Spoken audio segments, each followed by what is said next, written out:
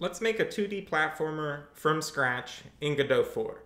I just launched Godot and have my project manager. I've got a whole bunch of projects that I've worked on for videos and my own projects. Yours might be blank, yours might have other things you've done. Regardless, we're going to go over here, click New Project. And then we're going to name our project 2D Platformer.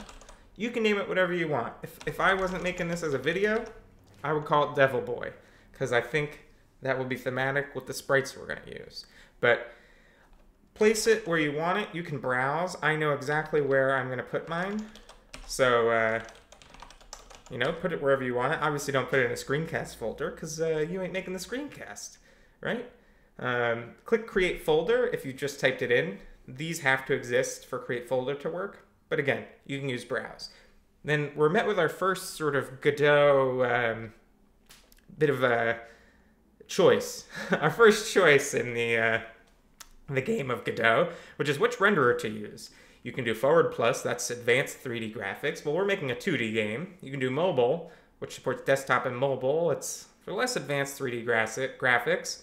Um, fast rendering for simple scenes, that's pretty good. Compatibility, fastest rendering of simple scenes. Supports desktop, web, and mobile.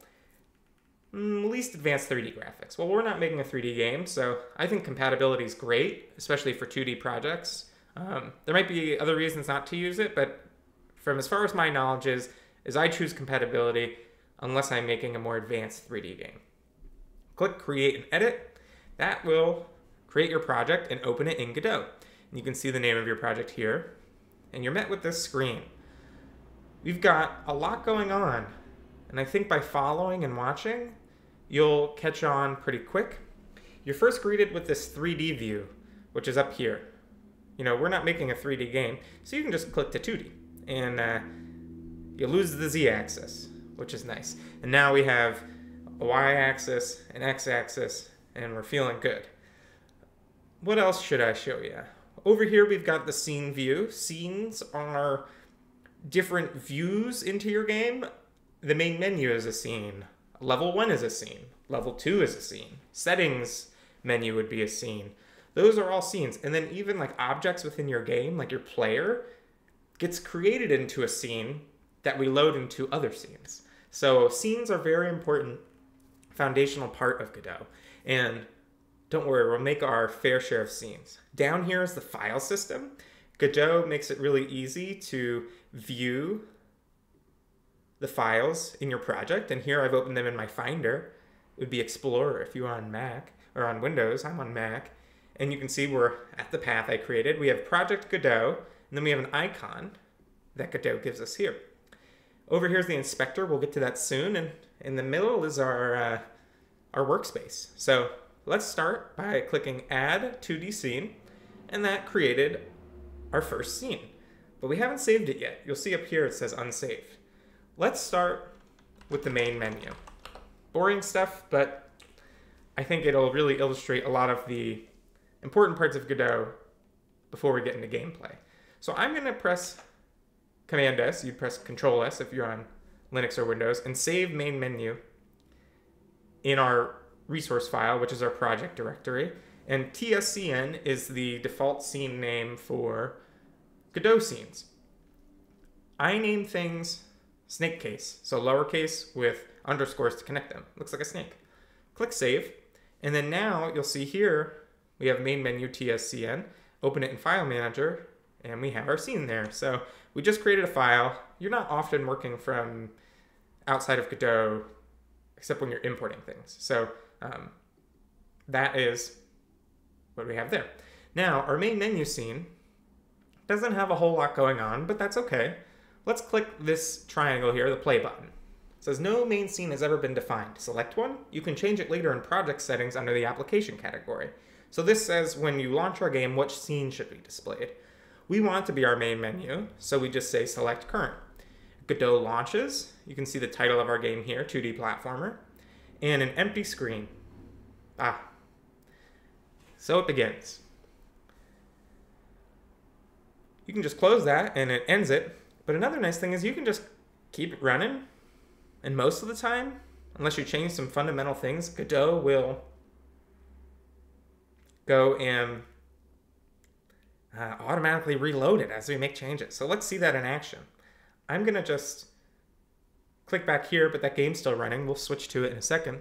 I'm, I right clicked and I'm going to do add child node. You can also do the plus sign here, do the same thing. Also, Command A, Control A does the same thing. And this brings up our node view.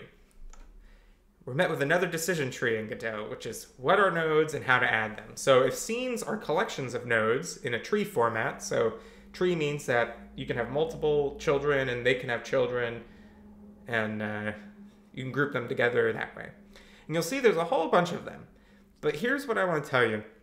You don't need to know like 70% of them, right? Only 30% are the ones you're going to use, and you're going to use them all the time.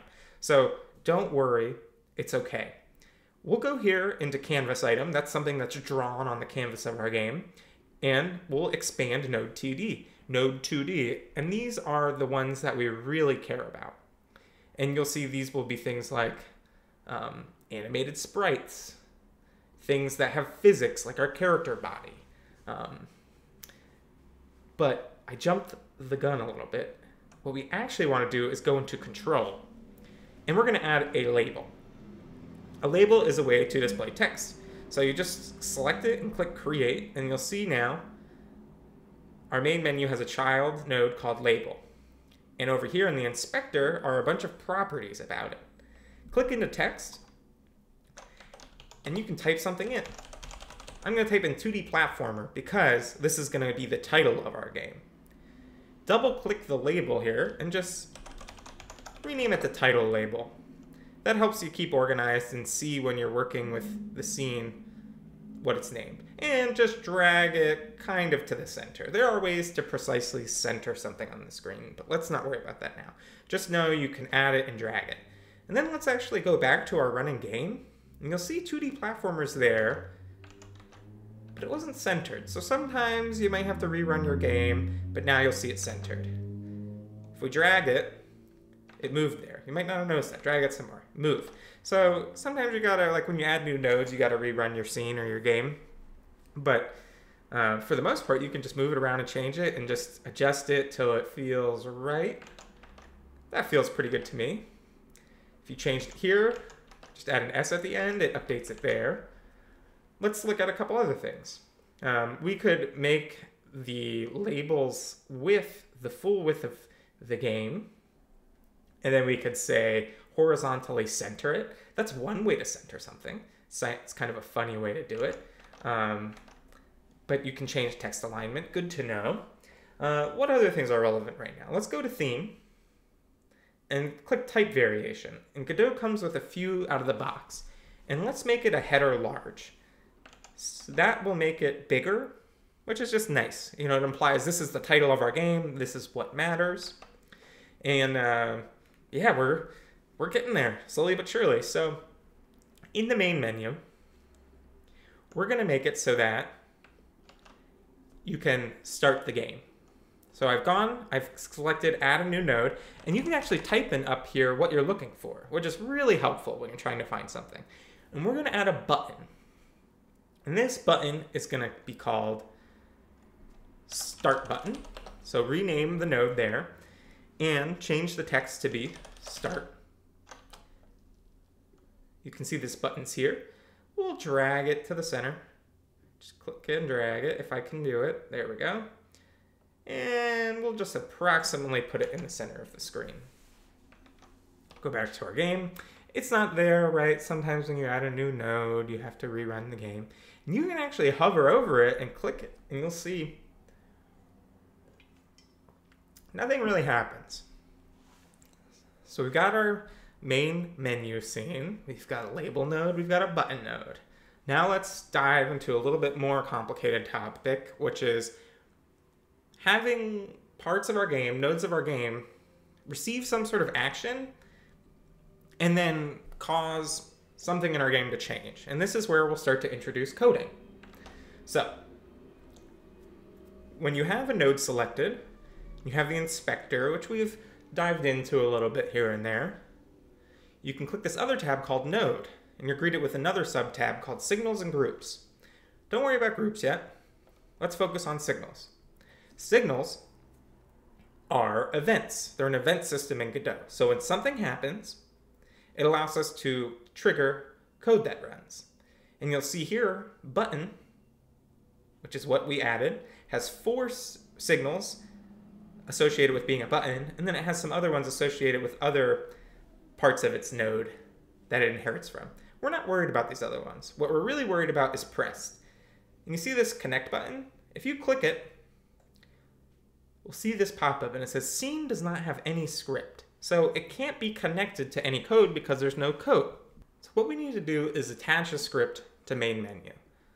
Click this button up here and it brings up this new dialog for attaching a script to a node. A script is our code. That's where we're going to type in in program. You'll inherit from node 2D because main menu is node 2D. We'll just use the default template, that's fine. And we name it, we'll keep it snake case, and click create. This opens up and switches to our script editor up here. You'll see that because it's blue. If we click 2D, we're back to the 2D viewport. Let's click back to script, and we've got a few things going on. We've got a file interface for working with the scripts. We've got mainmenu.gd, which is the file we created, and that corresponds to this one down here. So you can double click this to open it. You can actually double click, if you double click a TSCN, it doesn't switch back, so you just have to know that uh, in advance. But let's focus on this. We've got extends node 2D. This is what the script behavior gets out of the box. So anything that node 2D can do, we can do in our code, which is great. And we've got two functions that already are added. Let's click this button and expand it, make it bigger. Because when I'm coding, it's nice to just have some space and be able to focus on the code. And we see two functions that start with underscores. Functions are bits of code that you can call over and over again to have it run multiple times. And Godot looks for a ready function that's prefixed with an underscore and a process function that's prefixed with an underscore. Ready is called once when the node enters the scene tree for the first time, right? That's a helpful comment. And pass just says, eh, don't do anything. Process is called every frame. So your game's running in a loop, it's running over and over and over again, and it calls this function every single time. And it passes in the elapsed time since the previous frame, which can be used to um, make movement and other things frame rate independent. Which don't worry about that if you don't know what that means. It's okay. We're going to write our first bit of code here. We're going to delete this line. And with the scripting language that Godot comes with is called GDScript. And it's its own programming language. It's a lot like Python. And we're going to type some commands into the ready function to make it do some things. So we're going to type print and not have typos. And then in quotations, these are straight quotes, not curly quotes. When you're programming, quotations are straight quotes. And that is um, where we can insert a message that will get output. So we'll just say main menu ready. Save that, click the play icon to run our game again, and you'll see down here, main menu ready was output to the console log. If we changed it, run it again, it changes the message that's output. Okay, let's just double click and copy that. We'll paste it down here and we'll say processing. And we saved it. It automatically picked up our script change. We didn't have to rerun it. We had to rerun it before because ready's only called once. But process is run every function. So now we see its output over a thousand times. Really noisy because our game's running in this fast loop, right? Like 90, 100 times per second. Let's get rid of that. Delete it, get rid of the quotes, and then just pass in delta. Because delta is a variable value, we don't have to put it in quotes. And it's actually a floating point number, aka a float. And it's usually 0.01-ish. And that's really noisy, not very helpful. So we'll just make that pass again. Now that's some very basic scripting. We're gonna get into more advanced scripting soon enough.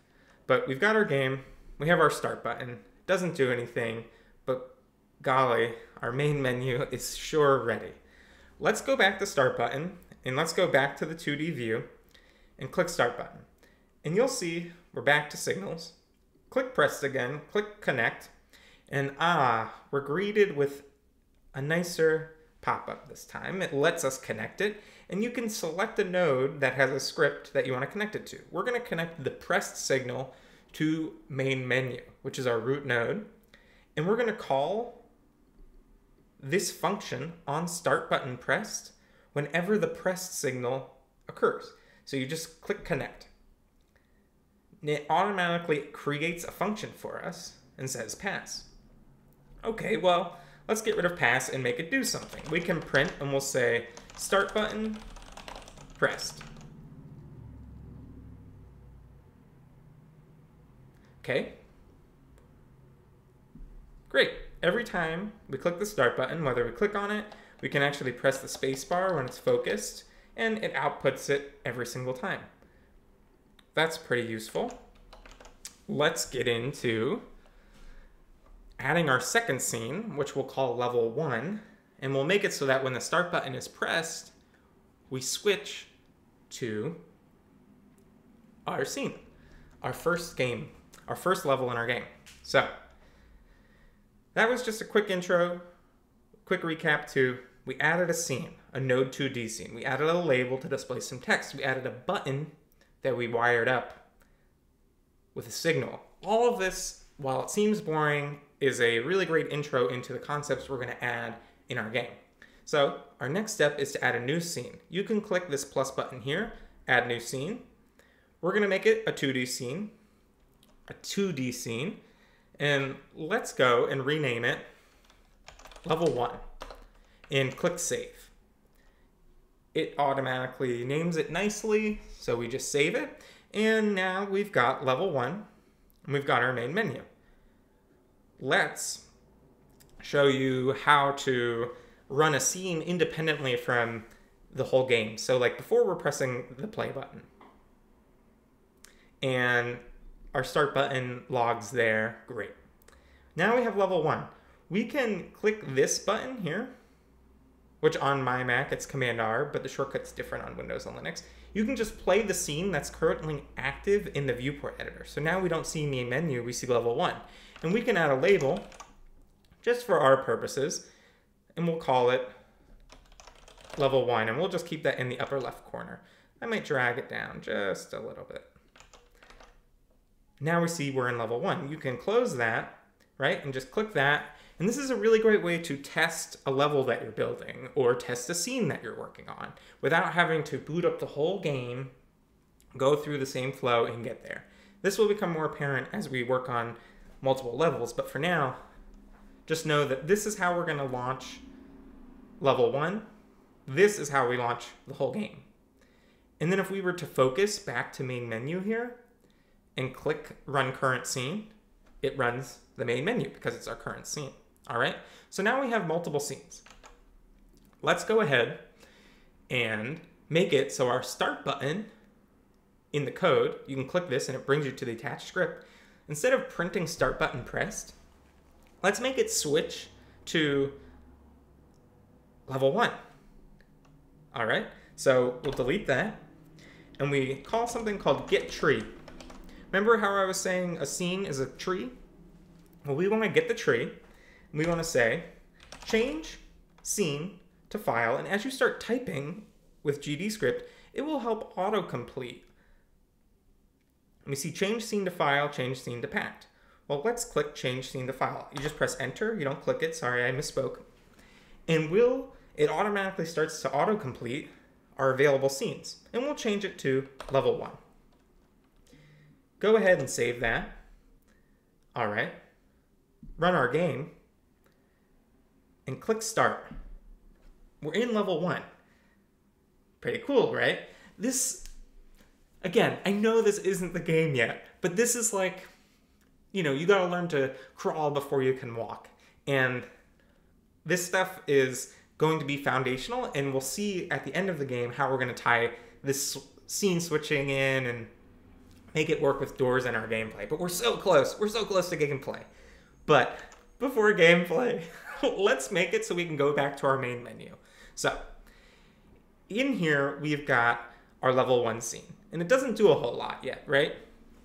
Let's, instead of adding a button to go back to the main menu, let's make it so that if you press the escape key, it springs you back to the main menu. This is quite nice, whether you're pausing the game or, you know, for whatever purpose, but for now, we'll just make it go back to main menu with the escape key. And this gets into input maps and listening to player input. What you do is you go to project, project settings. This opens up a whole interface of things. What we want to do is go to input map. This is where we'll configure mapping player input to behaviors in our game. There's nothing here. You see show built-in actions. You can click this and view what Godot has baked in, but it's not recommended to use what Godot has baked in. Instead, we'll define our own. So toggle that off and don't worry about it. You can filter with these, but again, don't worry about that. Focus in on add new action. And we're gonna call an action called return to main menu. Click add. I keep them snake case named, just like a lot of things in Godot and GD script. And you'll see it's created, and you'll see a dead zone. Don't worry about dead zone. That's for things like triggers and analog sticks where you don't want the action to trigger unless it passes a certain threshold. So just leave it as is. Click this plus button. brings up a new interface where it says listening to input. So I just press the J key. It goes, oh, okay, you want to map the J key, and it finds it automatically. But I want to make it the escape key, so I press the escape key. And you can even scroll through here and see all the options. So if you, for some reason, don't have the device you want, like we can make it start button, right, for a gamepad. You can type it in and filter there. But we're going to keep it escape. And then you can add modifiers, which we're not going to do, right? We're just going to say escape does it. And you click OK. Also, you can see the Godot UI is kind of bugging out. Ignore that. Hopefully that's fixed in the future. okay, so we made it escape. Well, hey, I really like using a controller. I think it's really important from the get-go to support controllers and keyboard. And Godot makes that so easy. So let's go back to filter input and press, type in start. You can then go and select joypad buttons and Nintendo calls it plus, but everyone else calls it start and just click OK. So now, whenever escape is pressed or the start button's pressed, if we check for input from our user, it will come up as return to main menu for this input map. So great, we can click close. Now in level one, let's attach a new script. We'll call it level1.gd, create it. Let's, you know, just for funsies, let's just add a print level one loaded or level one ready. Great. Click that, run it. Click start. We see level one's ready. Great. Just verify our script's working. You can delete that if you want, but I'll keep it for now. And delete the process function. We're not going to use that right now. What we're instead going to do is we're going to type func. You can type underscore input, and it starts to autocomplete. And see that input event? That's what we want. That is a callback that Godot will call. We'll call this function in the code we write whenever an event occurs. And an event can be anything like moving your mouse or pressing a controller button or a keyboard button. And as always, we can just print it and see what it is just to see what happens. So really, this printing is an illustrative way to just see what's going on. So you see every time I move my mouse, you see down there in my screen, it says input event key spacebar, pressed and then released. And, you know, Godot's tracking all this input. And you can listen to it if you want. But we don't want to listen to any of it, right? We want to see if it was the action we just described. So we'll say event dot is action pressed, and then in quotes, we put our action. And you see the UI underscore, those are the ones Godot has built in, but we see return to main menu. You can just press enter, it automatically wraps it in quotes. And then we can print that. That will say, whenever the escape key is pressed, or click start, so whenever an action occurs, if it's the action that we're tracking, it outputs true or false. Was it pressed? Well, I just pressed the escape key and it says true, and then it was released and then it's false. And when I was moving my mouse, it was tracking it too. So what we want to do is add a condition. Conditioning codes are saying when something is true, then we'll do we'll execute this code. So we'll say if event is action pressed, then you put a colon at the end of this condition, press enter and automatically indents. Then we'll say print return to main menu action press. Now if we go back to our game, or we'll just go and run our scene. Sometimes I quit the game when I don't have to, and that's just like a bad habit. Um, but I just press the escape button, and you'll see down there it's being output. I've got a PS4 controller here. See, PS4 controller. If I press the start button, it also outputs it down there. Great. Okay, well, let's reuse some code we already wrote. We'll go back to main menu. We'll copy this here, bring it back to our level one script. Let's get rid of that print and just paste in our code there. But instead of saying level one, we'll just say main menu. Save that. Now if we press escape key, we're back in our main menu. This switching scenes, while we switched from main menu to level one, and that is sort of, you know, not super fun, you could imagine though that when an event occurs in our game that, oh, we want to switch to level two. So now we can at least get back to our main menu, we can start our game and switch between them. Great. Okay, now it's time to actually make level one. We don't have any image assets. We don't really have much going for us right now. So let's go ahead and find some assets. I'm gonna go to my web browser and I'm at kenney.nl. Kenney is a creator of public domain game assets and they make games and tools too. So click into assets and you'll find all sorts of things from platformers to 3D models. What we're going to do is search for 1-bit. And there is a 1-bit platformer pack. We're going to go ahead and use this to make our game. Because it's public domain, using the uh, Creative Commons Zero license, we can use it in our game. We could even charge commercially for our game. You don't even have to give assets. You don't even have to give credit to Kenney, but I think it's really important to give credit, even if something's in the public domain. So um, we'll make sure we properly give Kenney credit too. Um, so let's download. Donate if you can. Download the file and then open it and unzip it. You'll see in here a bunch of files. In particular, you'll see this sample, which is kind of like a 2D platformer level. We'll make something along those lines. You'll see a preview of the images and you'll see some folders. Tiles, which are individual tiles that make up what's known as a tile map. A tile map is a collection of sprites in one image. So it's more efficient for the operating system and computers to take it, load it into memory, and then slice out segments of it. And so imagine, you know, all these little rectangles in here. We'll just cut them out and display them and duplicate them in our game, and we'll make our character move and just like old flipbook animations, you know, we'll change the animation based upon what's happening. So in the tile map folder, you'll see four different options. The one we want, you see packed. Packed means there's no spacing between each of these. But you'll see the one that's not packed. There's this one pixel between each tile. We want the one that has one pixel between each tile. But we want, and we let's use the one with the just use transparent actually. I think that will treat us better.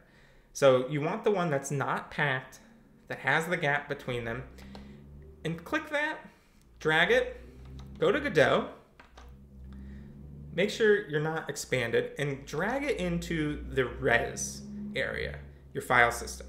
So Godot just imported it, and we can see it here. We could take this and just drag it into our level one and have this texture here. And you'll see in our scene, we've got a texture 2D with this here. And if we run our game, I should have just clicked run scene. You'll see this image is displayed. And yeah, we can make it bigger and warp it and do all kinds of things to it. But that's not particularly interesting. Aside from we know that it's in our game. So let's go and delete this. Okay. Now what we want to do is set up our level. And we'll do that by adding a new node for our tile map. So go in here, click add node. We'll just type in tile map to easily find it. Click create. Now this brings up a whole brand new interface, which is why we didn't start here because this is where things start to get a little bit more complicated. Over here, you'll see tile map, you'll see tile set, and then this opened up down here, which is our tile map editor. So we want to create a new tile set from that image we created. So click this drop down and click new tile set. Then click this area and you'll see here that we've got properties for our tile set. Then what we can do is in here, we're going to go and add our image to the tile set. So you need to click the tile set down here. It says no tile set source created. Click the plus button. We're going to do an atlas. An atlas will represent the texture that we'll use from our game. So click into here and click quick load. And that shows the options. We have icon SVG, which comes with the game out of the box, and we have monochrome tile map transparent. Click open. The atlas's texture was modified. Would you like to automatically create tiles in the atlas? Click yes. And then Godot tries to automatically map them. Let's click this button to make it bigger, and you can see that things are a bit off. These orange lines don't line up with our map because we have gaps. So we're gonna name this we're just going to call this um, tile map, kind of a generic name, and then separation. We're going to make it 1 and 1. And now you'll see that everything is lined just nice. And it's a 16 pixel by 16 pixel grid. If we change this, you'll see it'll throw it off. So depending if you were using a different tile set, you would see how large is each tile set and set it accordingly. There's also an option for texture padding, which tries to help it, but since we have the spacing, we'll just leave it checked on, but that's an option that's there that you might want to mess with if you use a different tile set. A different tile map image. Okay, you might notice some of these are hidden. If you just click them when we're in the tile set editor, it'll re-enable them. For some reason, Godot detected them as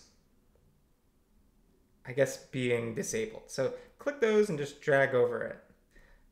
Ideally, that shouldn't have happened. It does it for empty ones, but it does it. It appeared to do it for some that have sprites in it. Um, so if you saw those faded out, just drag over them in the tile set editor, and that should make it better. So now we see here they're all available, and you can just click the arrow button and select a tile. Like let's select this one and then draw a pencil and we can just drag it.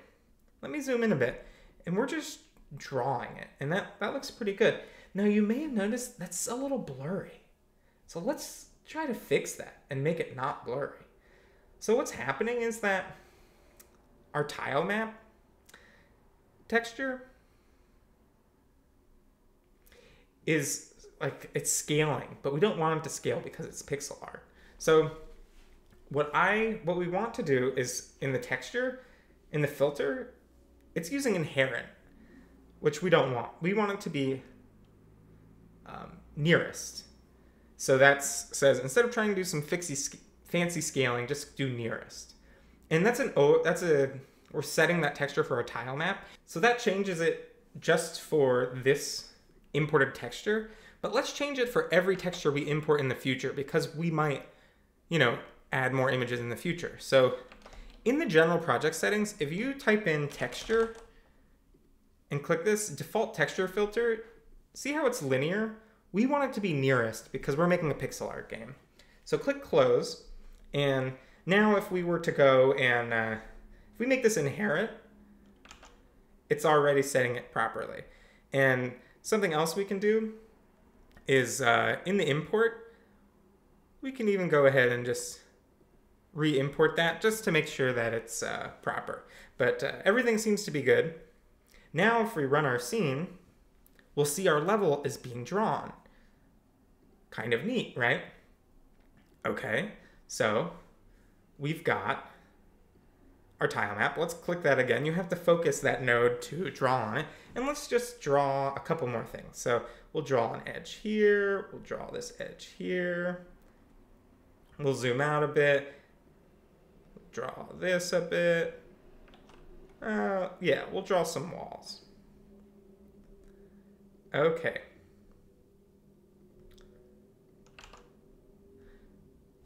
Nothing too exciting yet, but we've got some things drawing to the screen.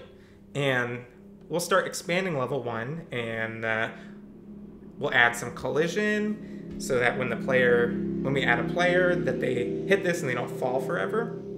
And then we'll expand what's possible and then we'll add a level two. Let's go ahead and add a player that we can control so that we can add them to the world and interact. We'll start off by adding a new node to our level 1 scene, and we'll call it character body 2D. Click create. This is a node that has physics and gravity affects it. It's what will be used for our player, and um, if you had multiple players, could be used for that, or uh, yeah, that's what it's for.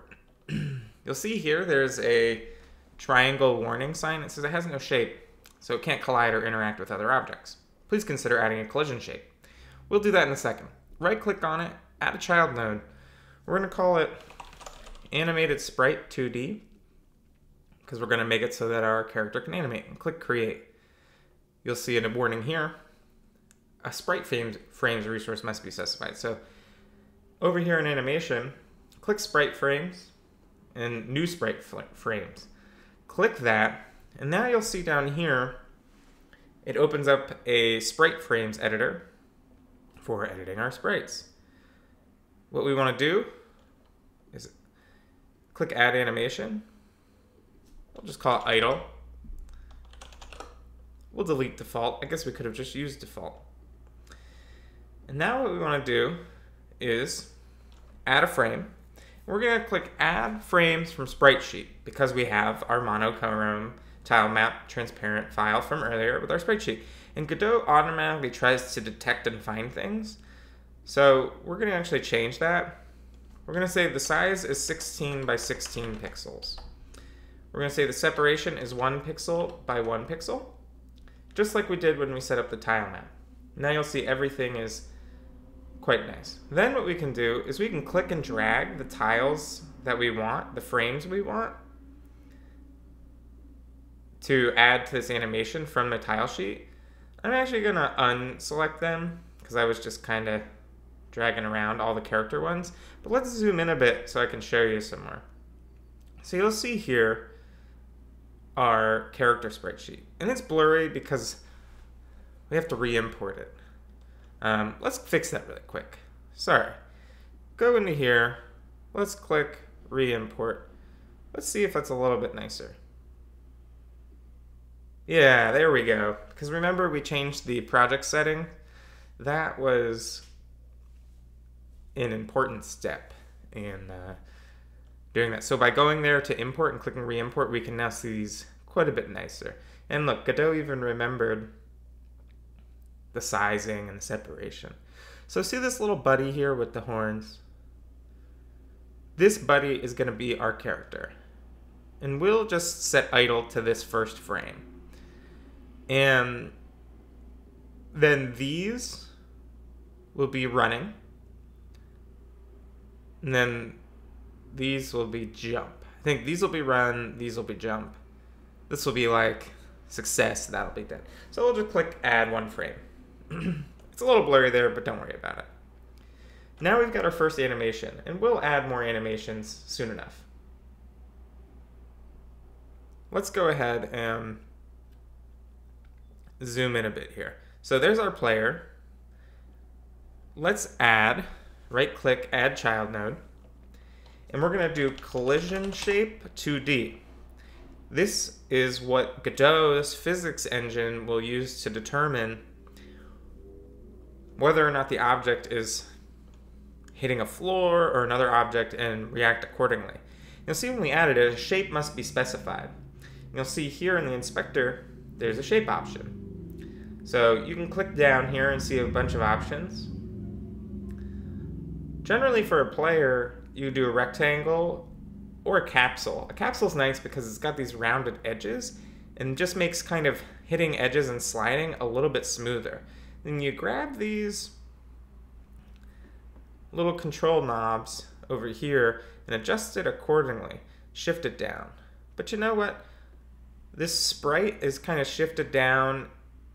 So I'm going to click that node for the sprite, shift it up, and then click back on our collision node and go ahead and uh, adjust that. We can make it a little bit smaller. That'll, that'll add a little polish. Like you don't want it to be the whole thing. You want it to be just, you know, squeezed in a little. It's a little more friendly for your player and um, will feel nice when they're up against walls. So we've got a player here. And if we click this, uh, let's just run our scene first. You'll see our player is just over here up in the upper left. We can't really see them. So let's go ahead and take click this. And when I click and drag, it just grabs what's under it. But if you click the node and hold the Alt key and drag, it'll actually drag the node and its children together. And that, that really helps. So, oops, I started the wrong run. So we see our platformer over here, our little character. That's really tiny and uh, our game isn't set to scale. We'll we'll set that properly. But our little buddy, let's make them fall with gravity. So if you attach script to character body 2D, it has a template that it's going to add automatically. Well, first, before I get ahead of myself, let's rename that node to player. That will make our script be more friendly named. I'm going to name it lowercase p player. I always name my script lowercase and snake case. But uh, I don't think that really matters. I just do it for consistency. And click Create. Now in the script editor, you'll see that Godot has a template for quite a few things already. It sets the speed to a constant value. It sets a jump velocity to a constant value. It gets the gravity from project settings. Let me just show you that. It's in physics 2D default. So you could increase gravity here, but I think 2D works pretty well. Um, can adjust it as needed. And then there's already some code here that handles quite a few things. So it says if we're not on the floor, add gravity to our y velocity. So that makes them fall, our character fall. Handle jump. If UI accept is pressed and not on floor, then we set the velocity y to jump velocity, which is negative, which makes the player go up. And then here we're constantly adding a positive value that makes them fall and then Godot handles some left and right movement. So this is actually good enough to start with, and we'll refine it and make it better. But let's go ahead and see what happens. Did you see that? Our little buddy fell and is just falling through the world and falling down because we've got our script attached now, but there's nothing for them to fall and stop them from just continually falling. So let's go back to the 2D view. We've still got our character selected. I'm holding Alt, pressing and moving it. And let's move them above the tile map that we just drew. Because we want them to stop falling when they hit the ground. And did you notice that? They just kept falling. And that's because our tile map in our world doesn't have collision set up. So let's go ahead. We'll leave player right there where they are. Clicking the tile map again. And in the tile set, you click it to expand it, and you'll see there's a thing called physics layers. By default, there's none. We're going to add a collision, we're going to add a physics layer, and it has two things, a collision layer and a mask. Collision layer is there's there's numbered values, you can change them to strings to make them easier to remember, but collision layer is what layer it's on, and you might want different layers because maybe let me explain that a little differently. Like, let's say you have a player and they fire bullets, and player bullets can only hit enemies. If they, you know, overlap with something else, they don't do anything. Well, then you would put the bullets on layer two, for example, and you would have them look toward maybe layer three with the collision mask so that it only targets certain objects on that layer when colliding. It's kind of a weird concept. We'll get into it a little more. But for now, the default one and one is totally fine. And and actually, I'll explain it more with an example after we set it up more. But for now, just leave it one and one selected, and that's fine. Now in our tile set here, we need to edit it to define the collision properly. So click in, we selected the tiles that we're drawing with are these right here. So you can click them, sorry, select them. And so I dragged and selected them down here. And I'm actually going to drag and select this whole square because we're using the walls too. I'm going to click here into physics, physics layer zero. And you've got these options here. You can add collision based upon the tile shape, or you can draw your own, like whether it's angle or just part of it. And we're gonna click reset to default shape. So now, if I click this tile, there's no physics shape defined. If I click here, which was part of that selection that I just made, you see how these are red? That means they have collision associated with them. So let's go ahead and run our scene again after saving. And now you'll see our player just fell and they stop. And that means they're colliding. And we can actually use left and right to make them move. We can use the space bar to jump. So look at that. Just right out of the box, Godot, we've got a tile map with a player, and our player can move. Now let's take a quick moment to illustrate collision layer and collision mask. So our player here, if we click collision, you'll see that they're on layer one and their mask is on layer one. Let's put them on layer two and click off layer one and run our scene.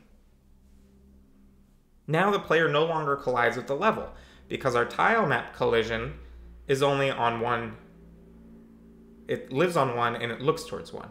If we set the collision mask to two, it looks to collide with objects on mask two, on layer two, or sorry, yeah, on two, but it lives on layer one.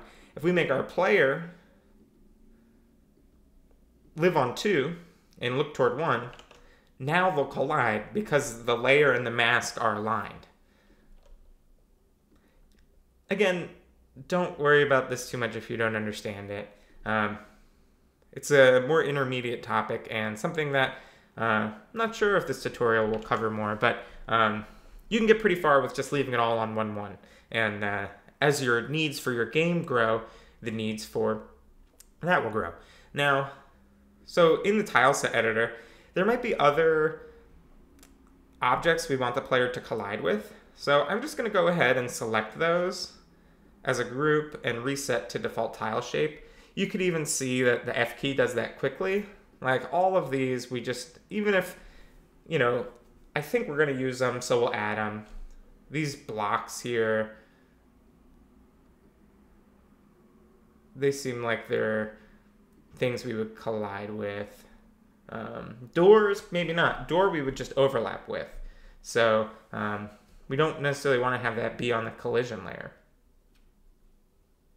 And let's see, anything else? All of these seem like it.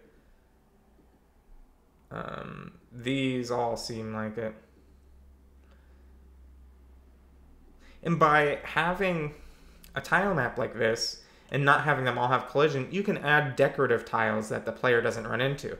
Like, for example, if I go ahead and um, oh, there's also just real quick aside. There's a thing called one-way tile. If you were to select it, like, let's go ahead and make this triangle platform. I select them all. Click one way. And yeah, I'll show you this neat feature because maybe your game wants that. So I had selected these triangles. I'm going to select those and I'm going to draw that right there. And I'm going to draw that right there. Let's go ahead and run the scene and uh, I'll show you what the one-way does really quick. So I can now jump through the tile, but then when I'm on the top side of it, I fall and collide with it. Now, if we went back into our tile set, those are still selected, which is cool. If you toggle one way off and save it, might have to rerun it because of uh, that changing that setting. Now I hit it and fall and I don't go through the platform. So that just depends on your game's needs and like a given tile's needs. But um, I'm gonna actually turn that back on because I think that's pretty useful for that tile type. And that also shows that you know, Godot is re-updating things in your running game, but sometimes if you change certain things, you need to rerun it for that to stick. Okay, great. Let's go ahead and paint a little bit more. Let's add a decorative pipe up here just for fun. We'll just kind of put this here, put that here, you know, that kind of thing. Godot has some advanced tools for making tile layouts smarter and easier. Um, for this tutorial, we're going to just focus on making, you know, handcrafted levels that um, we place everything manually. So now we've got some decorative items in our scene. Sorry, I alt-tabbed to the previous recording. And now you see I don't collide with the tree, I don't collide with the pipe, but I do collide with our platforms. There's a couple things I'm noticing that I'd like to change. So let's just go through them one by one. Player script. I'm to go ahead and close this. A couple things I'm noticing. Um, well, first, let's yeah, let's start by, we have action just press. It's using UI accept and UI left and right. Let's make our own input actions. The comments here even encourage that. So remember what we did? We'll just do move left, and I'm gonna enter these pretty quick. Move right, and then jump. So you can add those quickly, and then you click the plus button, and I'm gonna make a custom controls. So left, I like the A key, like WASD. I also like the left arrow key, and I also like the left stick to work, and I like the left D-pad to work. So that gets us all the input I like. And just out of the box, by default, I like to support three control schemes. Controller, WASD, and then JK for confirm and then arrow keys and ZX. I think by giving players options, whether they have different keyboard layouts or um, different needs based on their hands or how they like to play, um, I prefer to do that. So let's go ahead and we'll do D-pad right. We'll do left stick to the right, not the right stick. That could be a little confusing we'll do move right. I'm going to listen for input and use D to move right, and I'm also going to use the right arrow key. So we've defined those. And then for jump, we'll define a few things. Spacebar, that's just like pretty common. We'll do Z, like I said. We'll do J. We'll do um, the A button on the controller, which if you scroll down, that is um, defined as bottom action. Sony Cross or X, Xbox A, and Nintendo B. So that gives us the basics there. We can close that. Now delete UI accept and change it to jump. And then delete UI left and change that to move left and move right. And we'll do a little bit more investigating and I'll explain this code a bit more, but let's, you know, one piece at a time go ahead and run the game. I should have just run the scene, sorry. And then just verify it works. Okay, I jump with the spacebar, I jump with J, WASD works, Z works. Um, test it with a controller if you have one. That's feeling pretty good. Okay, great. Another thing I want to experiment with is changing the speed. So let's get the game running and leave it instead of quitting. And we'll change speed to 200 and save it. Now move your player. You see it's a little small, a little slower, and it's so zoomed out. We're going to fix that, don't worry. Um, you know, so the player moves a little slower. let's change jump velocity to negative 200. Player jumps less high, right? Because they have less velocity being applied when they jump. So change it to 300 and just make it feel good based on uh, your intuition. A lot of this sort of game design and game feel is based on intuition. So I'm going to change speed to 250 and I'm going to change jump velocity to 400. And that feels pretty good. And experiment with those values. The next thing I want to show is gravity, the way it gets it, we showed where that's coming from. This is how you get that value. That's pretty nice.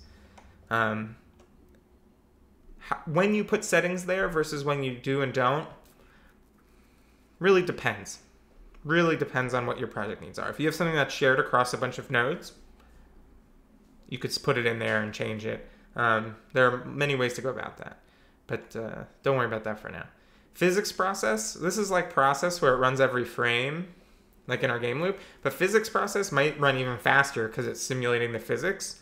So you know, the game is calling this function a whole bunch. If we put a print, it would happen all the time. Delta is the time between the last time it was called, and that helps make the game frame rate independent. So, like, the amount of gravity that's applied when falling depends on how fast. Um, it doesn't depend on whether or not the game is running slower.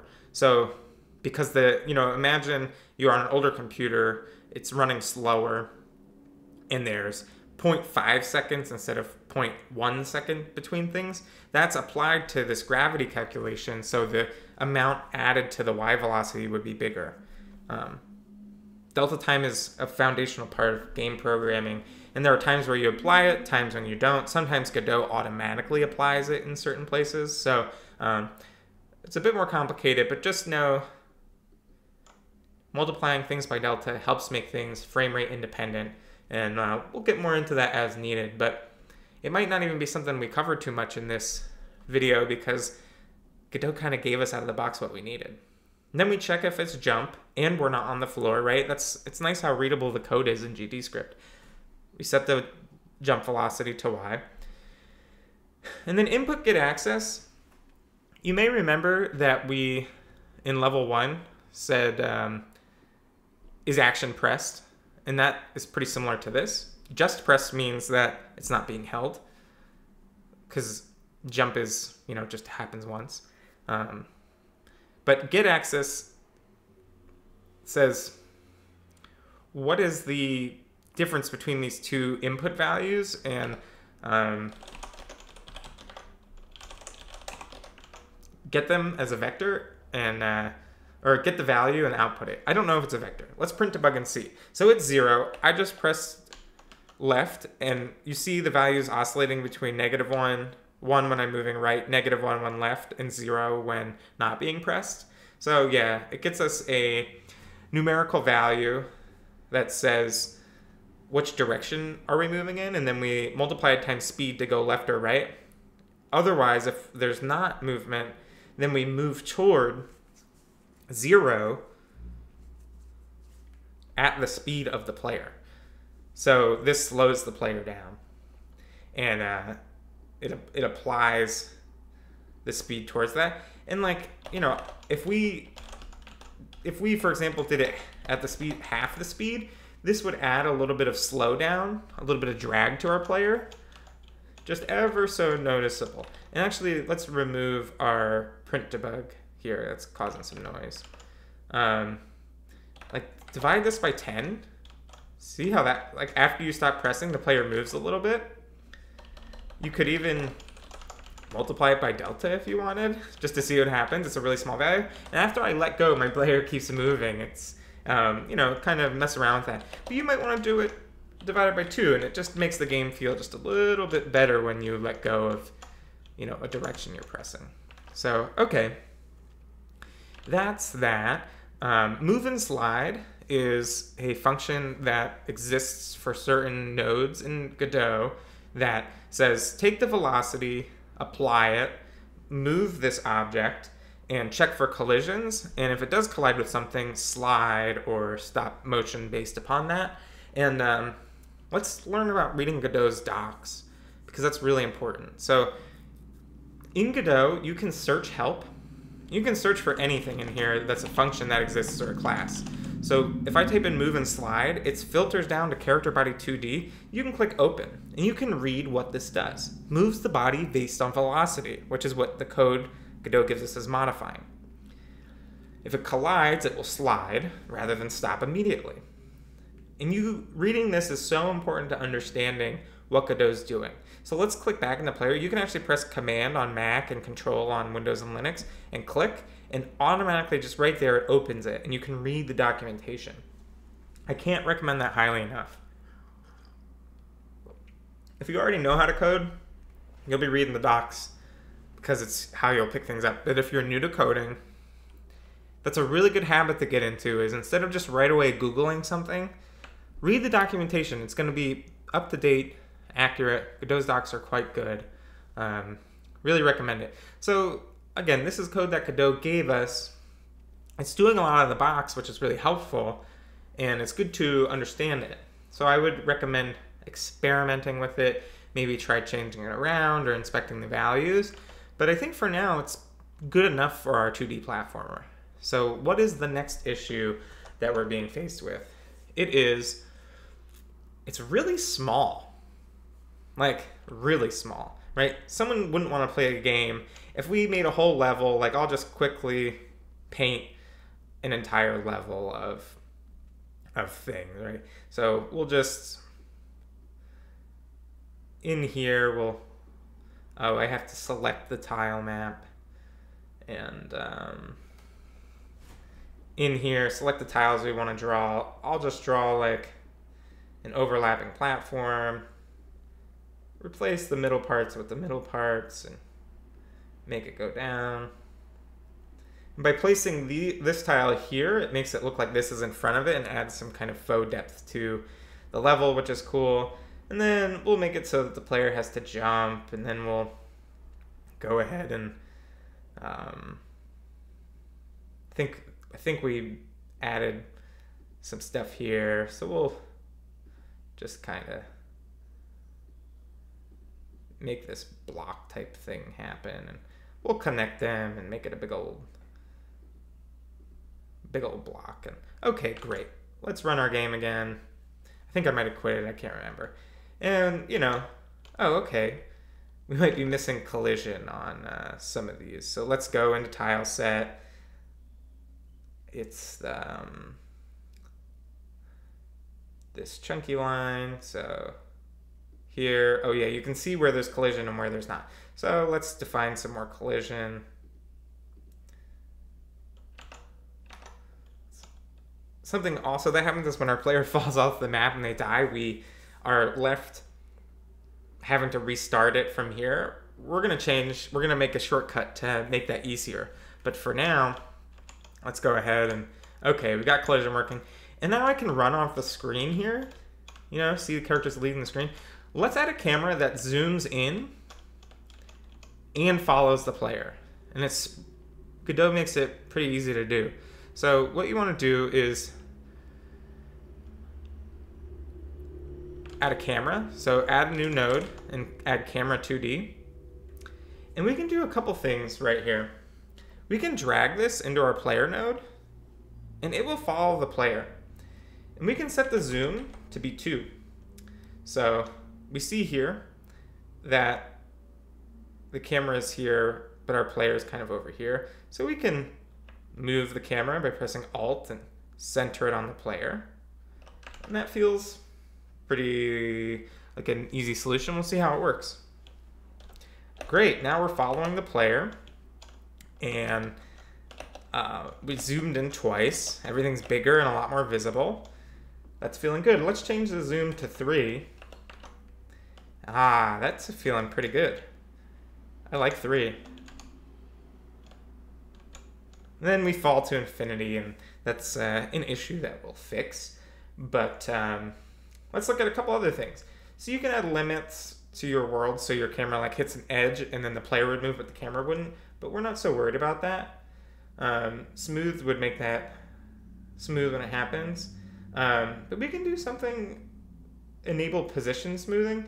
This makes it move toward the player at a little bit of a speed that feels pretty good. And we can even add some drag. That'll just really make the camera just pretty quickly feel a bit better. So you might notice the player is really jittery with this. I don't know if that's coming through on the video. So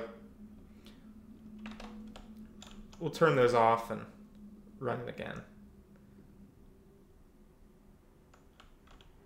Yeah, so jittery. Is it the position smoothing? Yeah, the position smoothing is weird. Haven't run into that before. But if you turn on the drag, you'll see that the player starts moving before the camera does. That feels pretty good. Um, the position smoothing is weird. I don't know. Don't know why that was happening.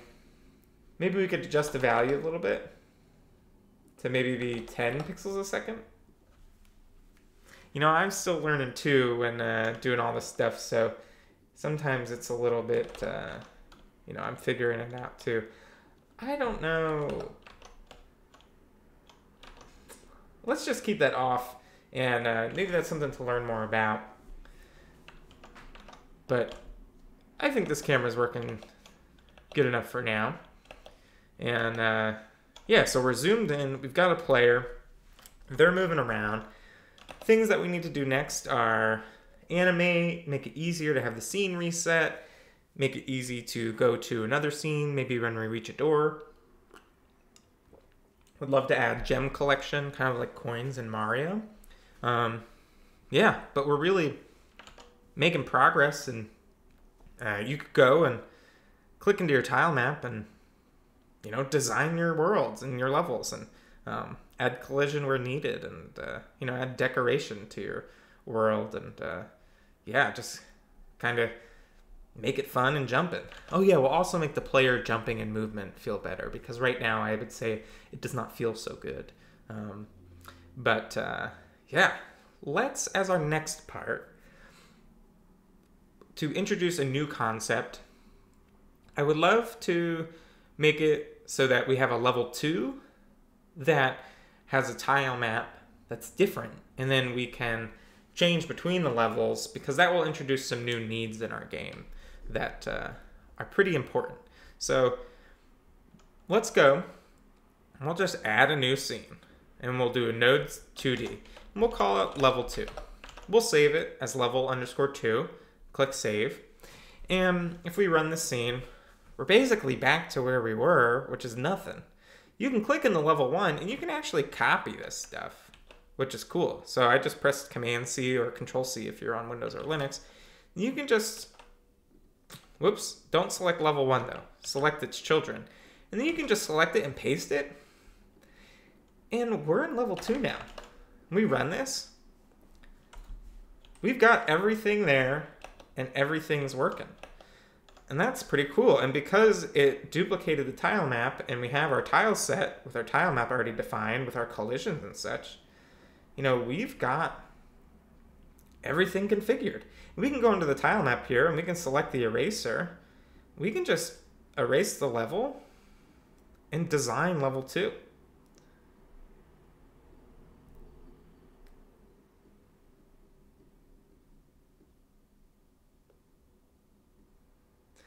There's got to be a faster way to do this. Let's see.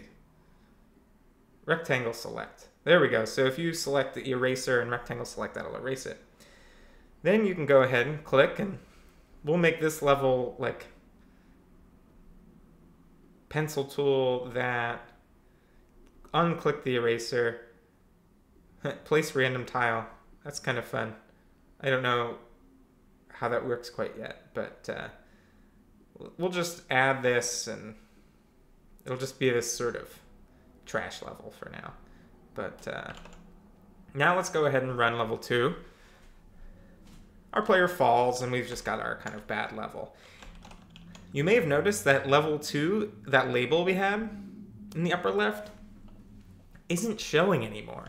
Because in our world, you can't see it, but like way up in the upper left is where that label lives. So we've got a couple things to fix and change right now. Okay, so we want to get this label to display in our camera, not in the world, right? Like if we drag this here, now you'll see that level 2 will show up in our world right there. And that's not what we want. We want it to display in the upper left of our camera viewport. So we can do that, add a new node, we'll type in canvas layer. That lets us draw, it draws its children to the camera based on its position in our layout here. So now if we go ahead and run the scene again, just by making that level 2 label a child of canvas layer, it's displaying up there and it sticks with where our camera is. This is really helpful for the heads up display. And you'll notice that we did this in level 2, but we didn't do it in level 1. So let's quickly go back and do it. It's good practice. You just drag it in, make it a child, run it again, and we make sure it works. So that's one issue that I wanted to fix. The next issue is that this player, while it shares the same script, player.gd, this player in level 1 is fundamentally disconnected from layer 2. Like if we go ahead and change our sprite, our animated sprite here to use a different sprite, like click into here, select this, Godot does not remember it, right? It's 16 by 16 with the one separation. If we made this player instead be this little uh, horned friend, an add frame. Oh, it doesn't like something there. Um, 16 by 16, one pixel separation. Um, something seemed off there, but um, there was like a part of the foot selected. Let's try that again. Yeah, that's better. So delete the other frames. And then go ahead and run level 2. So level 2 now, we'll see the player is this little skull with horns. Then if we run level 1, oops, that's level 2. Um, let me refocus level 1, end the running scene. This player is now just our normal little buddy. That might be a neat feature if you wanted to, but it'd be better to change that with code and the properties of the player are just now fundamentally different. Like the collision layer, the the maps, uh, sorry, the mask and the layer, they're disconnected. So what we want to do is make it so that we can share the player across our different levels and our different scenes. And all we need to do is here, we'll delete this node for the player, save it, and then here in our player, right click and say save branch as scene, and it automatically wants us to save it as player. So I went ahead and did that, and you'll notice its children are gone. And now there's a movie clapper, a film clapper, which is to open it in the editor, and we still have the script associated. So now if we click open in editor, and we, if you go to the 2D viewport, here's our player. I have to zoom in so we can see them because of so, how tiny it is, but now you'll see our players here. And what we want to do actually is take all this, select everything, hold Alt, drag it back to the center here, and grab this little cross. Oop. Actually, select everything. I undid that. And just select the... Sometimes this is a little tough of an interface. Okay, select the top node, hold Alt, and drag it. That drags the center cross, the sprite, and the camera to the center viewport. Before the player was all shifted to the right, but we can just keep the player right here and have them exist nice and in the center. And we'll see that something else is a little shifted. The camera is. So we'll select the camera here, hold Alt, and drag it. Now the camera is centered with the player. Um, it could even be shifted up a little. Now everything's centered. Back in level one, you'll see player is now centered, but we can actually go and hold Alt and move the player this way easily. So we're just dragging the player around and we can place them at the start of the level because this is where they'll be when we run the scene. So we went, we created a branch of our scene and saved it as a scene, and then we instantiated a version of it that we can then run. And then now in level two, all we need to do is click this link or the shortcut, and you can instantiate another scene within your game. So I'm choosing player.tscn. And then you can just drag them to the starting place, run the game, and it's the same player. And we can go in here now into our player scene and manage the player's script. We can manage their sprite. We can go ahead and change things with ease. And that makes such a big difference. And you'll do that with all types of things, all types of objects in the game. And uh, we'll do that a little bit more. But now let's go and we'll change it to the little buddy. It's got the weird side, but uh, that's okay. And we'll just drag it to the left for frame one. Rerun the scene, and we'll see it's the horned buddy. And now if we were to quit and run level one again, it's the horned buddy. So now it's sh shared, and that's ultimately what we want. So go back, delete the little horn guy, and um, save our player. And so we've got level one, level two, we've got a shared player.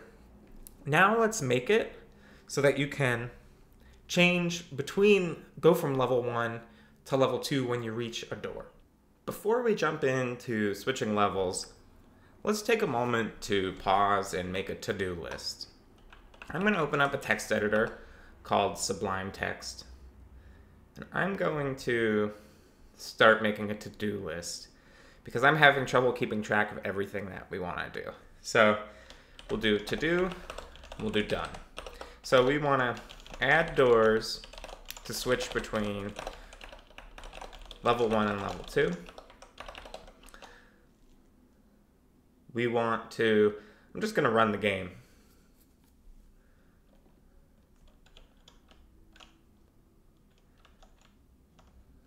Make the player animate based on the direction they're moving.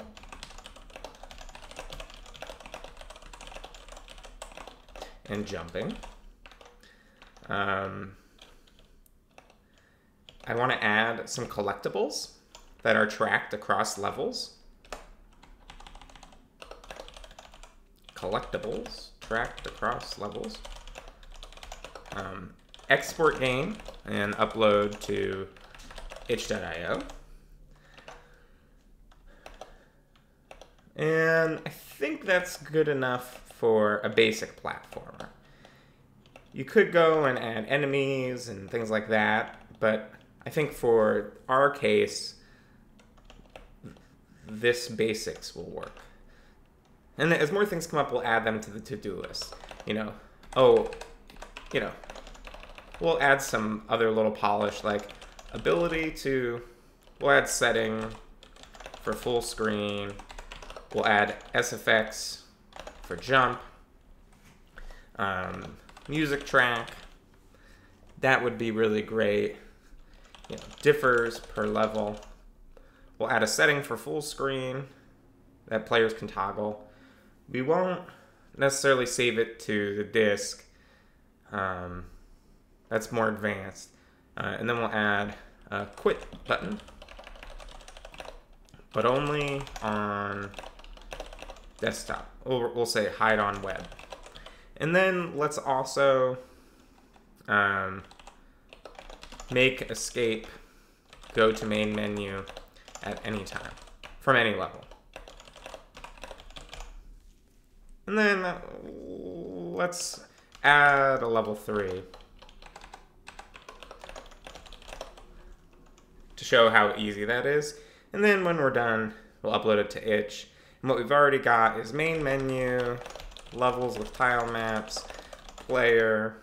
you know, we've done quite a bit. So let's go ahead and add doors to switch between level 1 and level 2.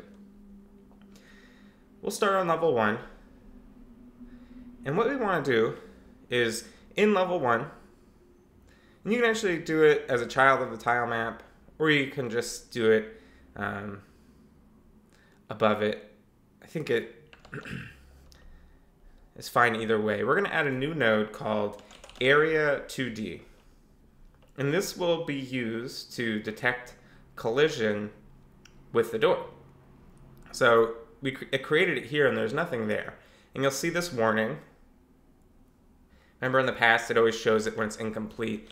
It wants us to add a collision shape 2D. So go ahead and add a collision shape 2D like we've done in the past. We'll make it a rectangle and that's pretty good. Okay, so we want to display a sprite for the door. So go ahead and add an animated sprite 2D.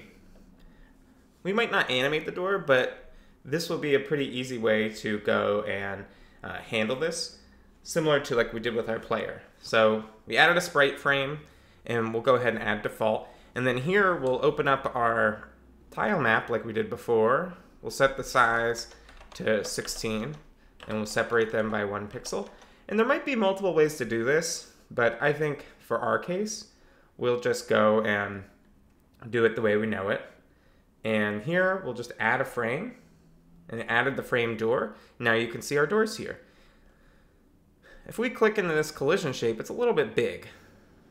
And we're doing this separate from the tile map collision layer because we want we don't want the player to stop moving when we hit the door. We want to just know when they've hit the door and then we'll change the level. So now we've got this door and it's quite a bit more aligned, our collision shape. We can then zoom out a bit. Remember, hold Alt and drag it. And we'll put the door over here on the right to encourage the player to go over there. And now as we're dragging it, you can see it's not really locking to anything. So you can click here and we can do a couple things. We can toggle smart snapping and we can show a grid and enable the magnet icon there says snap to grid. So now it's snapping to the grid and feels quite a bit nicer. Here also let's rename area 2D to door. And if we wanted to add a door animation, you know, we could, but we haven't gotten into animation yet. So um, we're not gonna worry about that. But let's go ahead and wire up a signal that deals with our door area 2D. So area 2D has a few different signals. Area entered, body entered, body exited, area shape entered, body shape entered. We want to do body entered because when the, the player body enters in this blue rectangle of the collision shape, we're going to want to change levels. So let's connect it this signal to our level 1 script. And we'll just say, we'll just print debug and say, player entered door. And then run this scene. And then move the player over there. And then, do you see player entered door? Every time we go in, that gets triggered. It's actually getting triggered twice. So that's kind of interesting. I don't know exactly why that is. Um, there's something uh, kind of interesting about that. I don't know. Eh, sometimes it happens once, sometimes it happens twice. I guess it depends on if you overshoot it. Um, but for our case, knowing that they entered is fine. And then what we'll do is instead of changing to main menu, we'll just go ahead and change the scene to level one or level two because we're in level one. And Godot helps us with autocomplete there. And then now if we run just this scene, oh, I ran level two.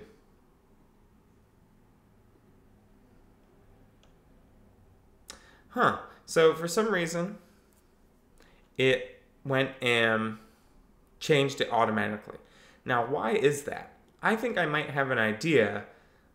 Let's figure it out. If we do print debug body and just have it output what the body is, we'll learn quite a bit. So it's saying that the body that collided with the door is the tile map. And we don't want that, right? We only want to follow when the player collides with it. So that makes sense why it wasn't working. So we can say if body equals equals, and then we can actually do dollar sign player, and that references our player node. So now if we rerun this, you can see it didn't change the scene right away, but then when we hit the door with the player, it goes and changes to level two. Let's talk about this more in depth. So body is whatever entity in our 2D worldview is colliding with the door. The level, the tile map level that we added collides with the door. And our player collides with the door. In our script code, we want to check and say if the body that entered the door is the player, then we change the scene, only if it's the player. And we can reference our player node here, which is an instance of our player scene, with the dollar sign. And that says specifically, is it this player that entered the door? Does that make sense? Um, we only want to change the scene if it's a player that enters the door. If you had an enemy that was walking by and they walked past the door, you wouldn't want to change the scene. So we go and we check and we ensure that the, the object entering the door is our player. And there are various ways to check this, but I think this is pretty clear and works. You can see if we type dollar sign, Godot will start to autocomplete the nodes in our scene for us. So like you can get player, and you can even get the player's camera, and you can modify the camera's, the player's camera, and that uh, lets you easily access things and set properties on it, which is uh, really really helpful. But for our case, we just want to just ensure that the body is our player. So that's a door. Let's go ahead and add a door to our level two. And we can even, let's make our doors reusable just like we did with our player. So we'll go ahead and click this and we'll say, save branch as scene. We'll call it a door. And then we'll open the door scene. We'll open it in 2D view. And it's way over to the right. Remember, we had the same problem with the player. So select it all, drag and select it, and then bring it back to the center and recenter our door. And this just lets us have the origin of the door be right in the center, and it centers it here. Now, back in level one, it moved it because we moved it, but now we can just select our door and drag it over here, just back to where we had it. That's just one of those little things that when you create nodes in your scene, move them around, and then you convert them to their own scene, you sometimes have to reposition them, and that's fine. Let's go ahead and um, notice a couple things. When we click into door here, our signal's not connected. And in our level one, we lost our signal connection. And that's okay. It's because we converted to a scene. So just click connect again, and you can actually pick an existing function in our script because we already coded it. So you can just go in here, click select it, and connect it. And now it should be working right again. So we'll click start, We'll run over, we'll jump to the door. Now we're in level two. Let's add a door to go back to level one. And then we'll, when we eventually add level three, that will be nice. And, you know, we could even like, just for fun, we could add a label. And that's gonna be at zero, zero. So let's zoom out, drag it over. And here we'll just add a, we'll call level two. So we know, our player knows, it's kind of fun. It might be pretty pixelated. Um, let's just run just the scene. Sometimes the way the text scaling works is a little funny. Yeah, it's a little pixelated, but uh, you know what? I don't think I really mind it. I think it's kind of uh, charming in a certain way. If you had a different font, you could go and uh, make it like a pixel font. That would make it look a lot nicer. But I don't see any options to make it uh, look better. And and why this is happening, I think is maybe worth talking about just a little bit. Is you know we have our camera zooming in, and the font gets zoomed in on and doesn't have any sort of scaling applied to it. So it's just zooming in on the pixels of that drawn text. And uh, that's, you know, yeah, what are you going to do about it? It's uh, totally fine. We can even drag the label as a child of door. And when you make a node a child of something, and you go to the scene, it's no longer a child in the parent like scene. It's just there in that instance of it, and that's actually pretty useful. So let's select door, Control or Command C, copy it, go to level two, paste it, and now we've got a door, and our door is gonna be positioned way over here. So grab it, hold Alt, drag it, and we'll just say turn on grid snapping. We'll just drag it here. Make it look nice. Okay, we'll shift it over. We'll make this level one. And then our player here is gonna fall and collide with the door, which isn't ideal.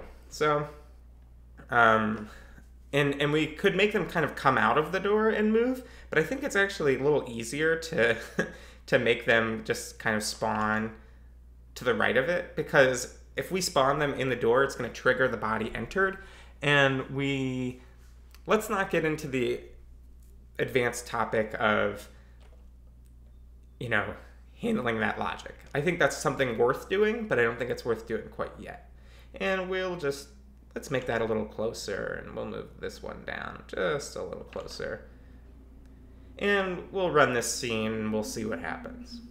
So our player spawns here. We go into the door and nothing happens. That's because we need to wire up the signal again, right? It's looking like it's connected because we copy and pasted it, but it's not connected quite in the right way. So you disconnect it and then you can connect it again. And we don't have a level 2 script yet. So let's go ahead and add a script. We'll call it level 2. We have all this stuff here. We can delete it. And then now we go back to the door, body entered, connect. And maybe we should do the door stuff. That would be fun. Let's put it on the to-do list. You know, switch level to door and track readiness to enter. That'll be a little more advanced scripting and we'll do that a little bit later on. But let's connect this. And from our level one script, we'll just copy all this, paste it, but instead of changing to level two, we'll go to level one. Go ahead and rerun level two and we'll see what happens. So great, we can jump around. Click that and it spawns us at the spawn point of level 1, not our door. And that's probably okay, right? Like, maybe if you had a game that was like a Metroidvania type game, you might instead um, have a way to track like which door a player is entering and going back into. But I guess for our case, for a Mario style game, you would just want to spawn them at the beginning of the level and they would move on. So, um, yeah, that's just a behavior that we've got here. And we'll make it so that um, we'll delete the to do for handling level readiness in the door. I think if I made a video that was like how to do Metroidvania and you had doors and you were entering and exiting them, that would be that'd be its own video because that stuff gets pretty complex. So, okay let's look at the to-do list, right? This is why to-do lists are really helpful. You can go and keep track of how you're going. So great. We've got doors that switch between level one and level two. That's pretty cool. And I like to go and just run the game again, test it, make sure it's feeling right. All right, yep. We can go ahead and play our level. That is good stuff. Then what we can do there is um, we'll add a level 3 at the end. We'll do that at the end. Now, when you press escape in level 2, we'll start with that. Because I think, I think that's a quick thing, and sometimes it's nice to just do quick things. So if we run level 2 and press escape, we don't go to the main menu. If we run level 1 and press escape, we go to the main menu. So all we need to do here is, in the input event, you can just copy and paste it. Run it. Now, if you press escape in level 2, it goes ahead and does that. And uh, that was simple, but we've introduced duplication in our code. Some duplication's fine, right? Like this on door body entered and connecting the signal, the level changes based on that. So, you know, it's it's not the best to duplicate this code because maybe we want the logic to be more complex, but it's not too bad. But this input event where we return to main menu, that is the same exact code in two places. That is usually a sign of an area where we can make the code better. And we'll make this better by introducing one place that this code lives and gets checked against every scene while running. And the way that this works in Godot will also be used for keeping track of things like for collecting gems or how many lives the player has and that sort of thing, right? So let's go ahead and go up to project, project settings, auto load, and then in here is a whole new interface. And what you want to do here is just type in a node name, and we're just going to call it global for now and click add and it brings up this interface for creating a new script. We'll call it global.gd, click create, and by default it's enabled as a global variable. So it is a area of code that we can access as needed, which is quite nice. And uh, it'll always run when our game runs. So we'll click close. Now global's been added to our game. You have to double click it down here and open it in the script and let's just do some learning to see what happens. We'll do print debug, global ready, save it, and then we'll run our game again. And you see global ready was triggered and then main menu? Now when we loaded level 1, global ready didn't get called again, which is great. That is what we want. Now if we in here add print debug global process, save that, that gets run every single time like our other process. So that's helpful, but we don't really need that. Um, also, print debug is like printing, which we've been doing elsewhere, but it only does it in the debug mode of your game, which is like while you're working on it. But then when you build your game and share it with players, this won't happen. So I think this can be nice to keep in sometimes to help you um, know when something's ready and being triggered. So um, print debug's really helpful to help you, the game developer. So what we want to do is, in level one and level two, we'll cut this out. So select it and you can press con Control Command X, and then just, oops, go back into uh, global.gd. You can't switch to it from up here because it's not a scene. So just go back, paste it in here, save it, and then in level one, we've removed it. In level two, just get rid of that input event. Now run the whole game again. We see down here, global's ready. If we press escape, it switches to main menu, but that doesn't really matter because we're in the main menu, so it's not a big problem. Now if we're on level one, we press escape, it goes to main menu. And then if we go to level two and press escape, it goes back to main menu. And now our code only exists in global.gd. So that's pretty handy. So we'll do more with global.gd eventually. I also just realized something that we want to make better in the game, which is um, we want to, as part of our polish, uh, we want to make it so that we focus on main menu buttons on launch for controller support. For controller and keyboard support. Because right now, if you launch the game, and you press the spacebar or use your your controller, nothing happens. But we want to make it so, yeah, you can click the start button, but we also want to make it that you can use your controller and your gamepad for that, and it's really easy to do. So we can just go ahead and do that. But we'll do that later. So we've got a couple things. Animate the player based on movement and direction and jumping. That sounds really good. Let me actually save this to do file because I keep doing it out of habit. And uh, yeah, now I can save it. So let's animate the player based on movement and direction and jumping. So we'll go back to player and we'll look at our player right here. We'll close this make it a little bigger. We have animated sprite 2D and we have idle. Let's go and add a new animation and we'll call it run. click here, select this again. I don't know if there's a better way to do this, having to keep selecting it and set the separation and everything. Um, but this is what's been working for me. Still got ways to learn. So we'll click this tile, we'll click that tile, and we'll just make that the run loop. And you can click this play button here and see it run. And you can even change how fast it goes or how slow it goes by changing this value. I think 5 felt pretty normal. And maybe these, the run loop that I'm showing here, maybe maybe it looks funny. Maybe I picked the wrong frames. Um, yeah, let's open this again and just let's zoom in a second and look at it.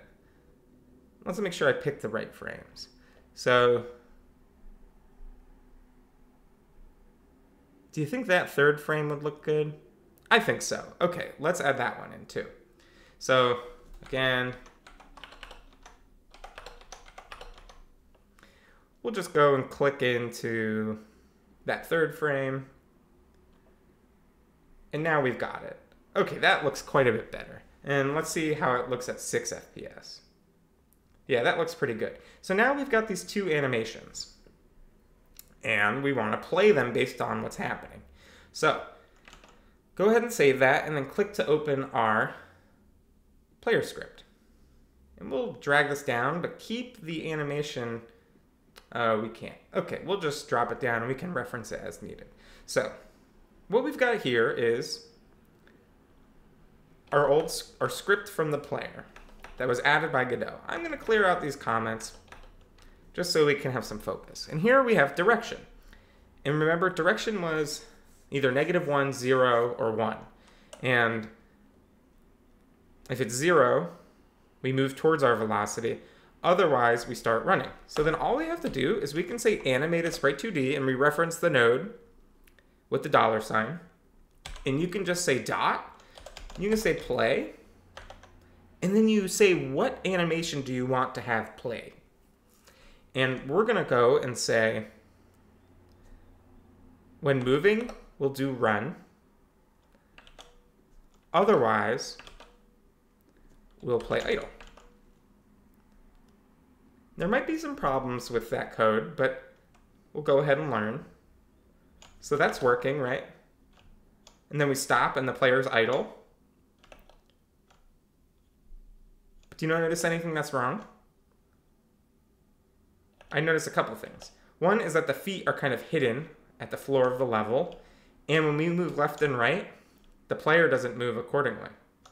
So let's go ahead and fix those two things. Let's bring this debugger down, hide that the output, and let's do a couple things. We'll say, we'll say if direction is equal to negative one, we'll say animated sprite, negative one represents left, we'll say flip horizontal is true. Because by default, right, our player's facing to the right. But if they're moving to the left, we want to flip it to the left. So we say flip horizontal true. And then we'll say else false. Let's go ahead and see what happens in our running game. And we see, okay, that's working. When we jump, running is still happening, so let's go and add a jump animation. We'll go back here to our animated sprite 2D. We'll click into the animation into the sprite frames and we'll add a new one, new animation called jump. Same process as before.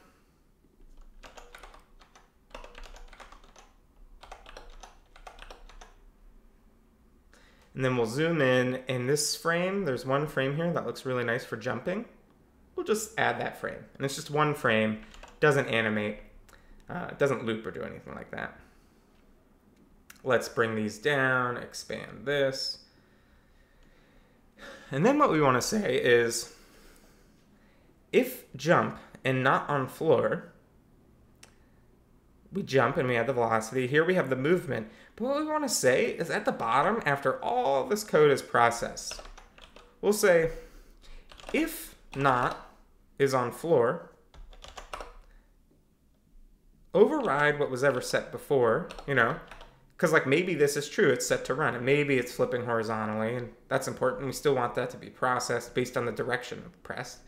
But if we're not on the floor, go ahead and do jump. Now, if we go back to our game, and we're, mo we're moving and we jump, That's not working. Maybe we need to rerun the scene because we added a new animation. Oh golly, what happened there?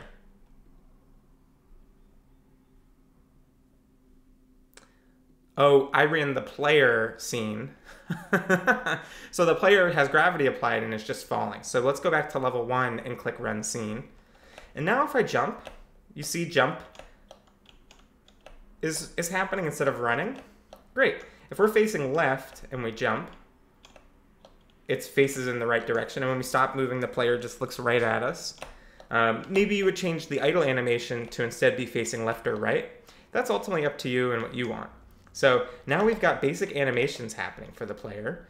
Um, another thing I just remembered we want to add is quick level reset.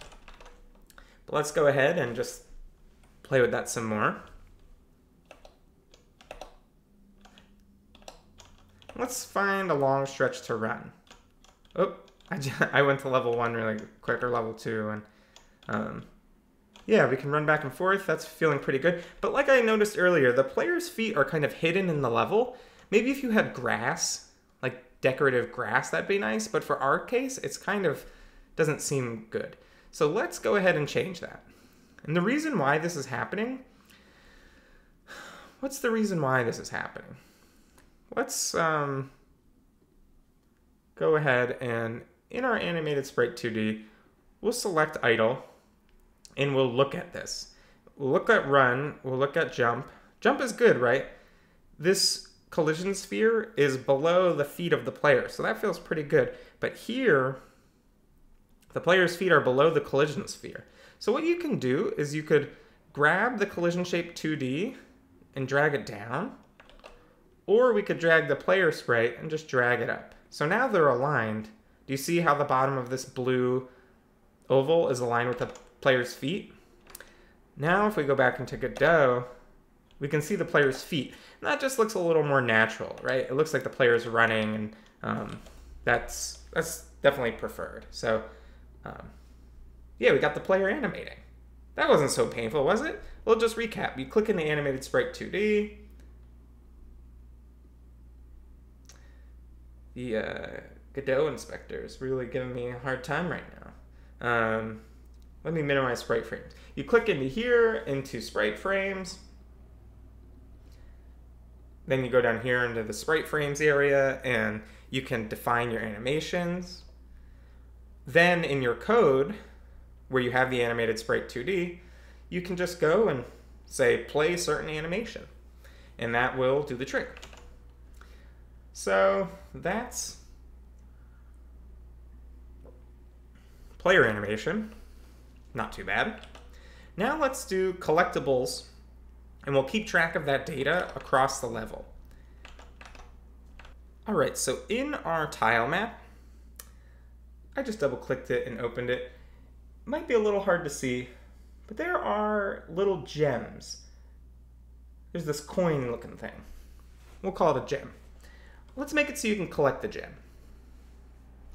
And then we'll get into sound effects. So just like we did with the door, we're going to create a new scene and we'll say other node and we'll say area 2D, just like the door. We're going to call this gem and we're missing a collision shape. And we're going to make it a rectangle for now. We're going to add a child node. We'll do animated sprite 2D again, just because that makes it really easy to uh, add animation if we want it, and to just define the sprite frames. So click that, add new ones, we'll just do default.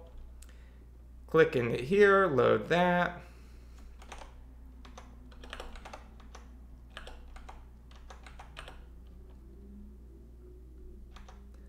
Okay, And then we'll zoom in and we'll pick one.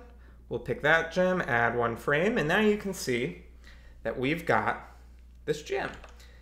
We'll save gem.tscn, and let's just make the collision shape just a little bit, it's got magnetism on, so there we go. Turn that off and just pull it in. I'm going to keep it a rectangle. You could make it a circle or an oval, but uh, I think a rectangle is nice because it's just a little more forgiving to the player. And I've got about a pixel of space on either side.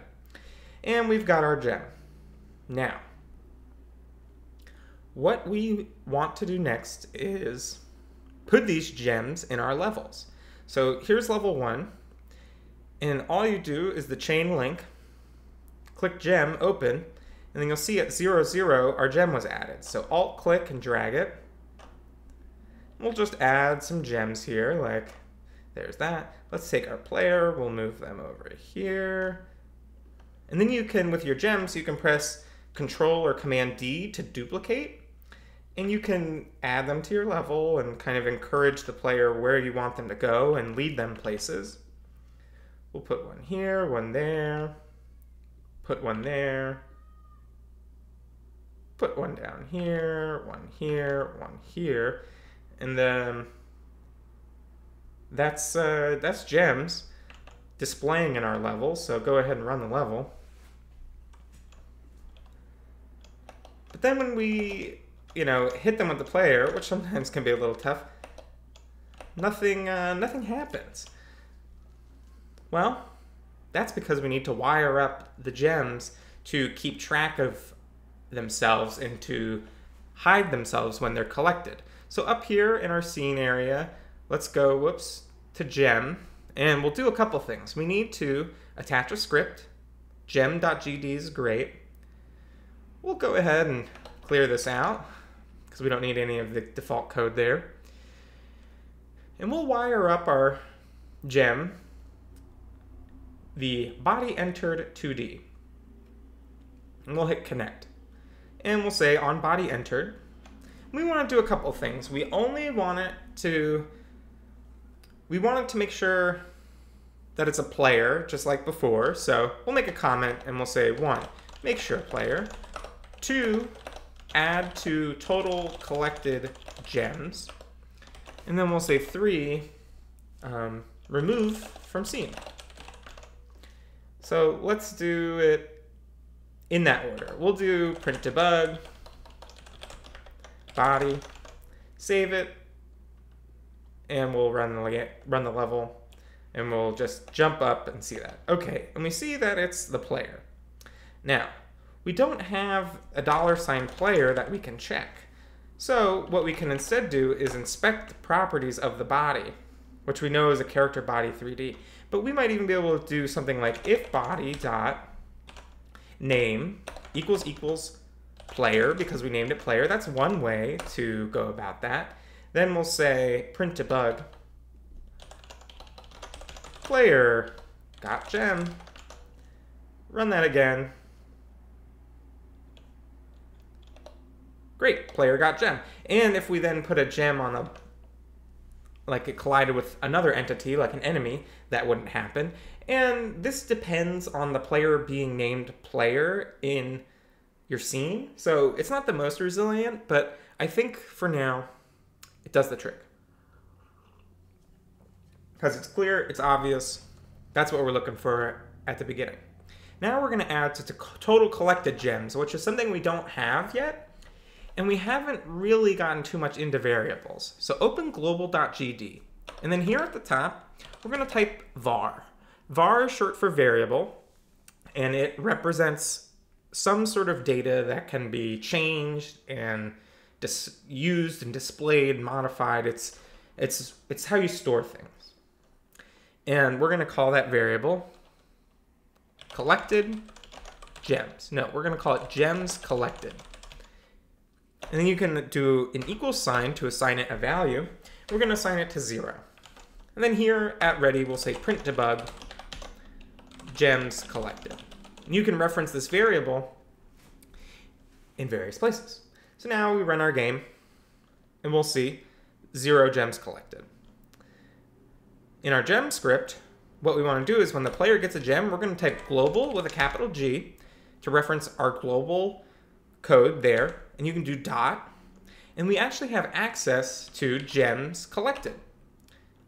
And we can print debug that just to show that we can get its value. Okay, we got a gem twice actually because we jumped over it and then fell on it and our gems collected is zero. So what we want to do is when a player gets a gem, we want to say global.gems collected equals global.gems collected plus one. Now, we'll do that above our print debug and we'll watch the value change. So I jumped again. When we hit the gem going up, it became one gem collected. Then it became two gems collected. I jumped a second time, three and four. Now we if we do step three, we can remove it from the scene, then it won't count it twice. So to do that in Godot, you do queue_free. And that says when the game is idle and it's currently finished what it's doing, remove this node from the scene. So then it can't be collected again. Now if we go back to our game, see the gem went away? Now we have five gems, six gems, seven gems, eight gems. Great. Let's run our game from scratch again, from zero. And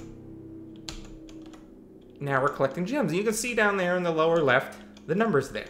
So let's go ahead and display how many gems have been collected. Excellent. So,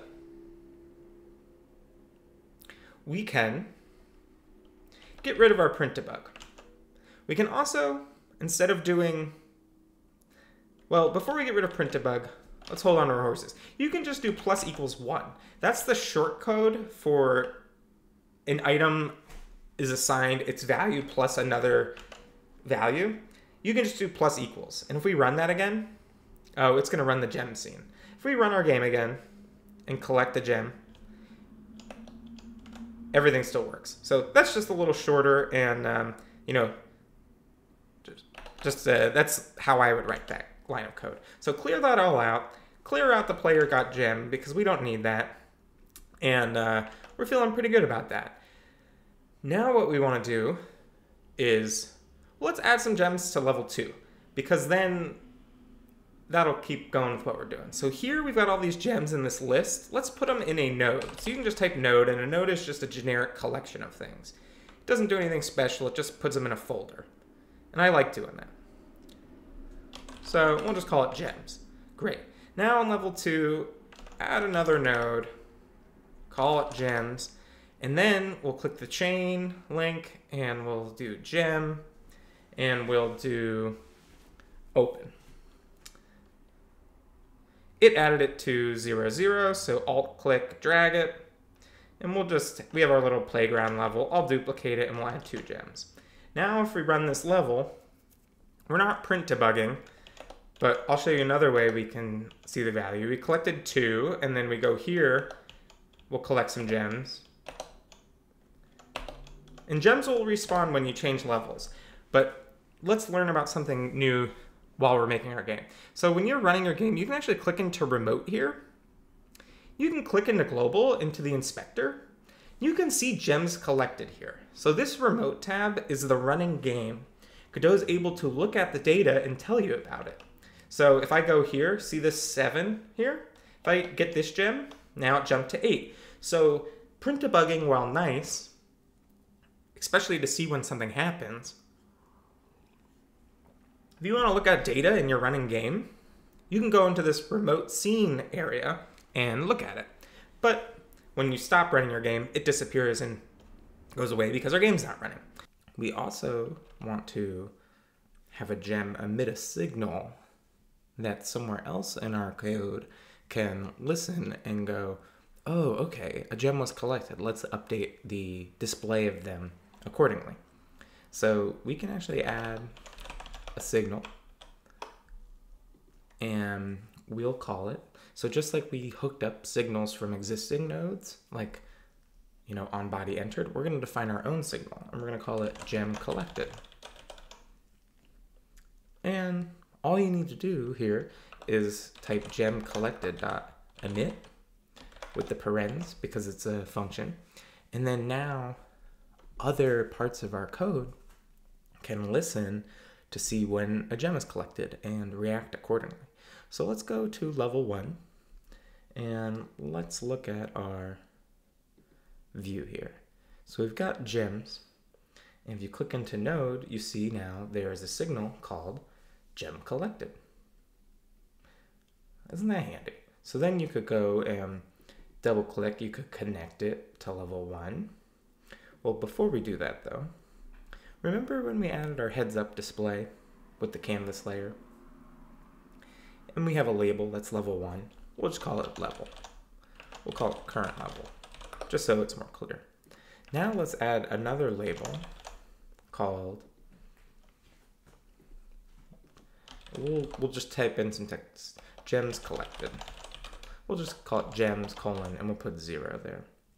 And we'll drag it over here and just kind of align it and make it look nice. And we'll call that label gems. Then what we can do is we got a couple options. We can wire up these signals to say when a gem is collected, we'll uh, go ahead and submit emit a signal. And, um, and then we'll listen to it and we'll update this text accordingly. So we can actually call, I think I'll call it gems label just to be clear uh, in our code. So then let's actually go back here to this signal, double click connect. We'll just put it in the level one script and we'll say, remember in our inspector here, we had this called canvas layer. Let's change that to HUD. That'll make it easier to reference. That's short for heads up display. And we'll just say HUD slash gems label is equal dot text. That's a property of the text value within it is equal to global dot gems collected. And we are going to actually make it gems colon space and you can plus and that gems collected is a number so we can turn it into a string and add it to this string so that it displays properly and looks nice. So let's go ahead and run level one and collect that first gem. See how we have gems zero in the upper left? Okay, we collect this first gem. And now we have gems one. Let's collect a second gem. Well, that's not updating our UI even though we are collecting that gem because we've only wired up the signal for one of our gem nodes. And that is when we have all of these duplicated gems, that is um, something that we need to figure out what to do. So we've got a couple of options, and um, I think the way that I'd like to go about it is wiring up. So here we manually collected gem, or we manu- manually connected gem collected to our level script. I'd like to disconnect that and we'll connect it manually because we want to, as we add new gems, we don't want to have to connect each one to the on gem collected. And you can actually see something else that is kind of duplicative is we have on gem gem collected. So let's get rid of that first one and we'll just call it on gem collected. And then what we want to do is on our ready, when it says level one's ready, we're to actually go and loop through each of the gems and wire up that gem collected signal with code instead of doing it by hand in the inspector. So what we'll say is dollar sign gems, and then there's a way to get the children And that returns an array, which is a list of nodes that are its children. And we can actually say for gem in gems, and then we'll say gem dot gem collected dot connect. So remember we were connecting signals in the inspector by clicking. Now we can actually connect them via code. So we say when the signal gem collected occurs, connect it to, and we'll connect it to our on gem connected, collected. Sorry, connected and collected sound very similar. So you could just go ahead and pass in this function name into connect, but you don't put the parentheses here because when you're writing code, especially GD script, and this follows in other languages too, the parentheses say call this function. But you can reference a function by its name and it won't call it until later when connect, when this signal happens. So if we go ahead and just save that and run our game, run level one, now we can go ahead and see, okay, we connect, we collected some gems and see how gems is updating properly. That's because each of these gems that are in our game's level got connected to on gem collected, which then handles updating the HUD accordingly. Now, there are other ways you could go about this, but I think for learning purposes, to show connecting signals by hand to then connecting them via code is and, and having a dynamic list of them is really helpful. And you know, you might even do print debug gems.getChildren just to see what that looks like, right? Let's do it together and just go ahead and look at what that looks like so you can see what a list is. So right here is what it just printed. So an array is a list and it's usually denoted by brackets and each item within it is separated by a comma. So you could have an array too that's like one, two, three. And in our case, we have a gem. We have an array of the gem nodes. And so this says for each gem in that array, that list, run this code on it. And this gem here that we define, you know, that's something that we type. We could name it, you know, like you know, we, we could name it whatever, pool, and then if that was named pool, we just want it to correspond there. And uh, so now we're collecting the gems, but let's go ahead and run level two, and you'll see that, oh, this is gonna run level one. There we go, we stopped that. If we collect these gems, we don't even have the gem count there. So it's not gonna update and display, and we're not connecting those gems properly. So We've got a couple of options here, as always. Um, we can do a couple of things. And it, how we go about it is uh, ultimately up to us, but I think what I'd like to do is see we have this HUD here and we have gems label. You could copy it, paste it, copy this code again on ready to manually connect it and add this um, here. But that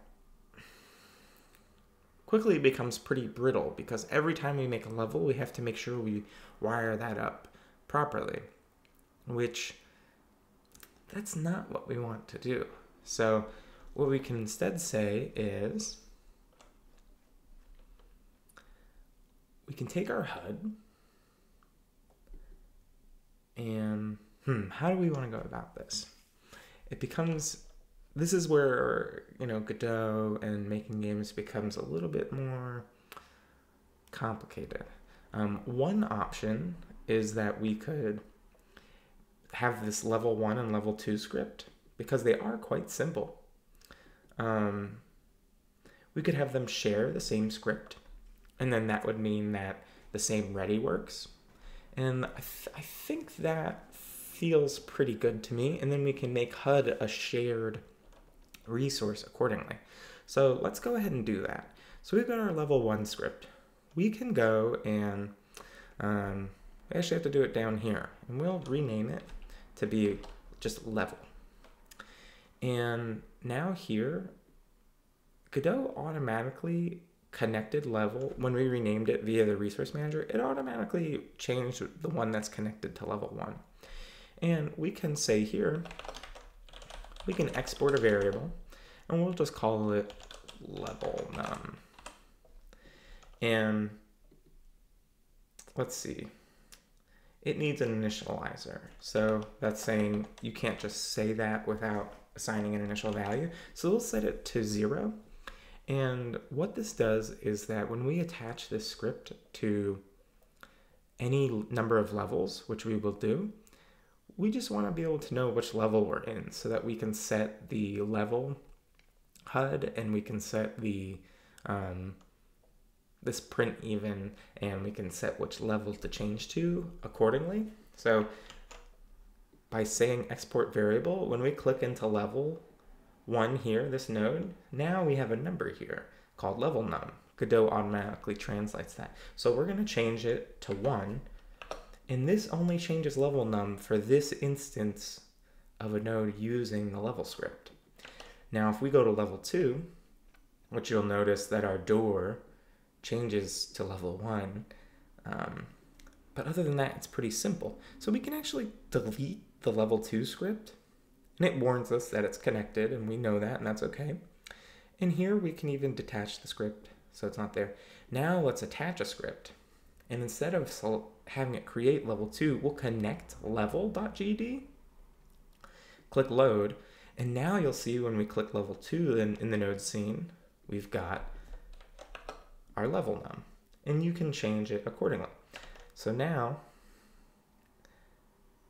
we have one script level that's sharing the functionality accordingly. Now there's a couple things that we want to do. It's always going to print level 1 ready. So if we run level 1, see it says level 1 ready down there in our print.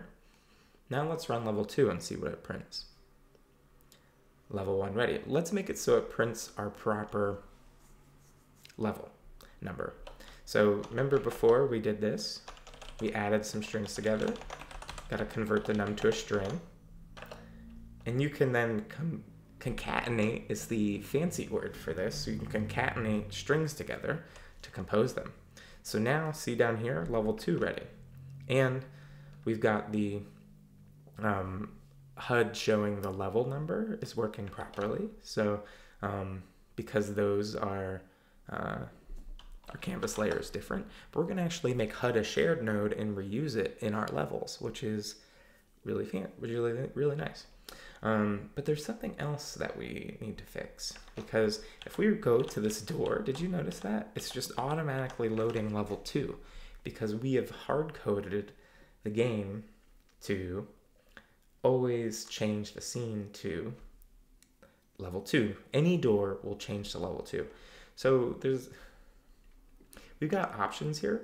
We could make the door and um, we could set the property. So how, how did we work the door, right? Let's open here and door is just, uh, has, it's an area 2D. So uh, we have that event and we say on door body entered. We could connect, we could, we got a couple things. We can make a door go to a specific level. Um, or we could always say, uh, you know, the door of a level goes to the next level. Let's make it so that doors have a property of which level they go to. So click into door, attach a script, we'll call it door.gd, and we can remove these.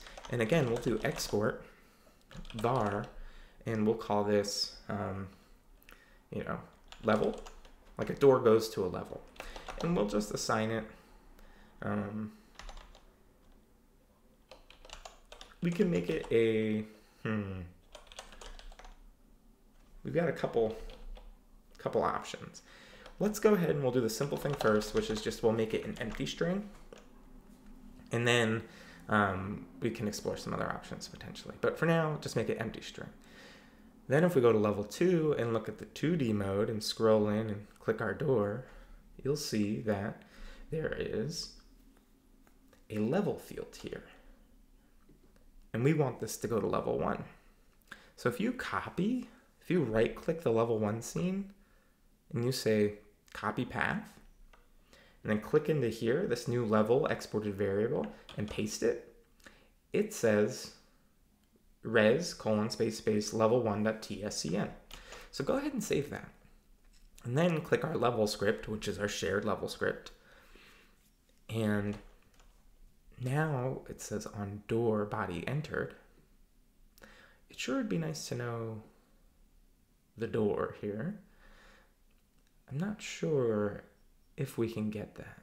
So let's quickly see something. Um, so we have door here, and it's a node, and we have on body entered. We can double click, hmm, we can't double click that. We can right click and click edit. I just want to see if there's a way to know the door that um,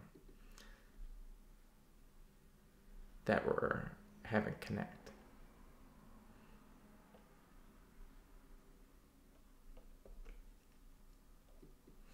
There's not. So what we want to do is, in addition to our export variable for level, let's add a signal to door.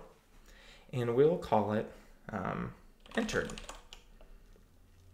And that will emit a value of the level we want to switch to. And then we'll connect the door body entered. Now this is, we're editing the instance of the door. We actually want to edit just the scene. So I clicked into the scene and we'll say body entered, door, and we'll say here, we'll call it player entered. And remember in our code, we check if it's a player. And um, there were a couple different ways we did that, right?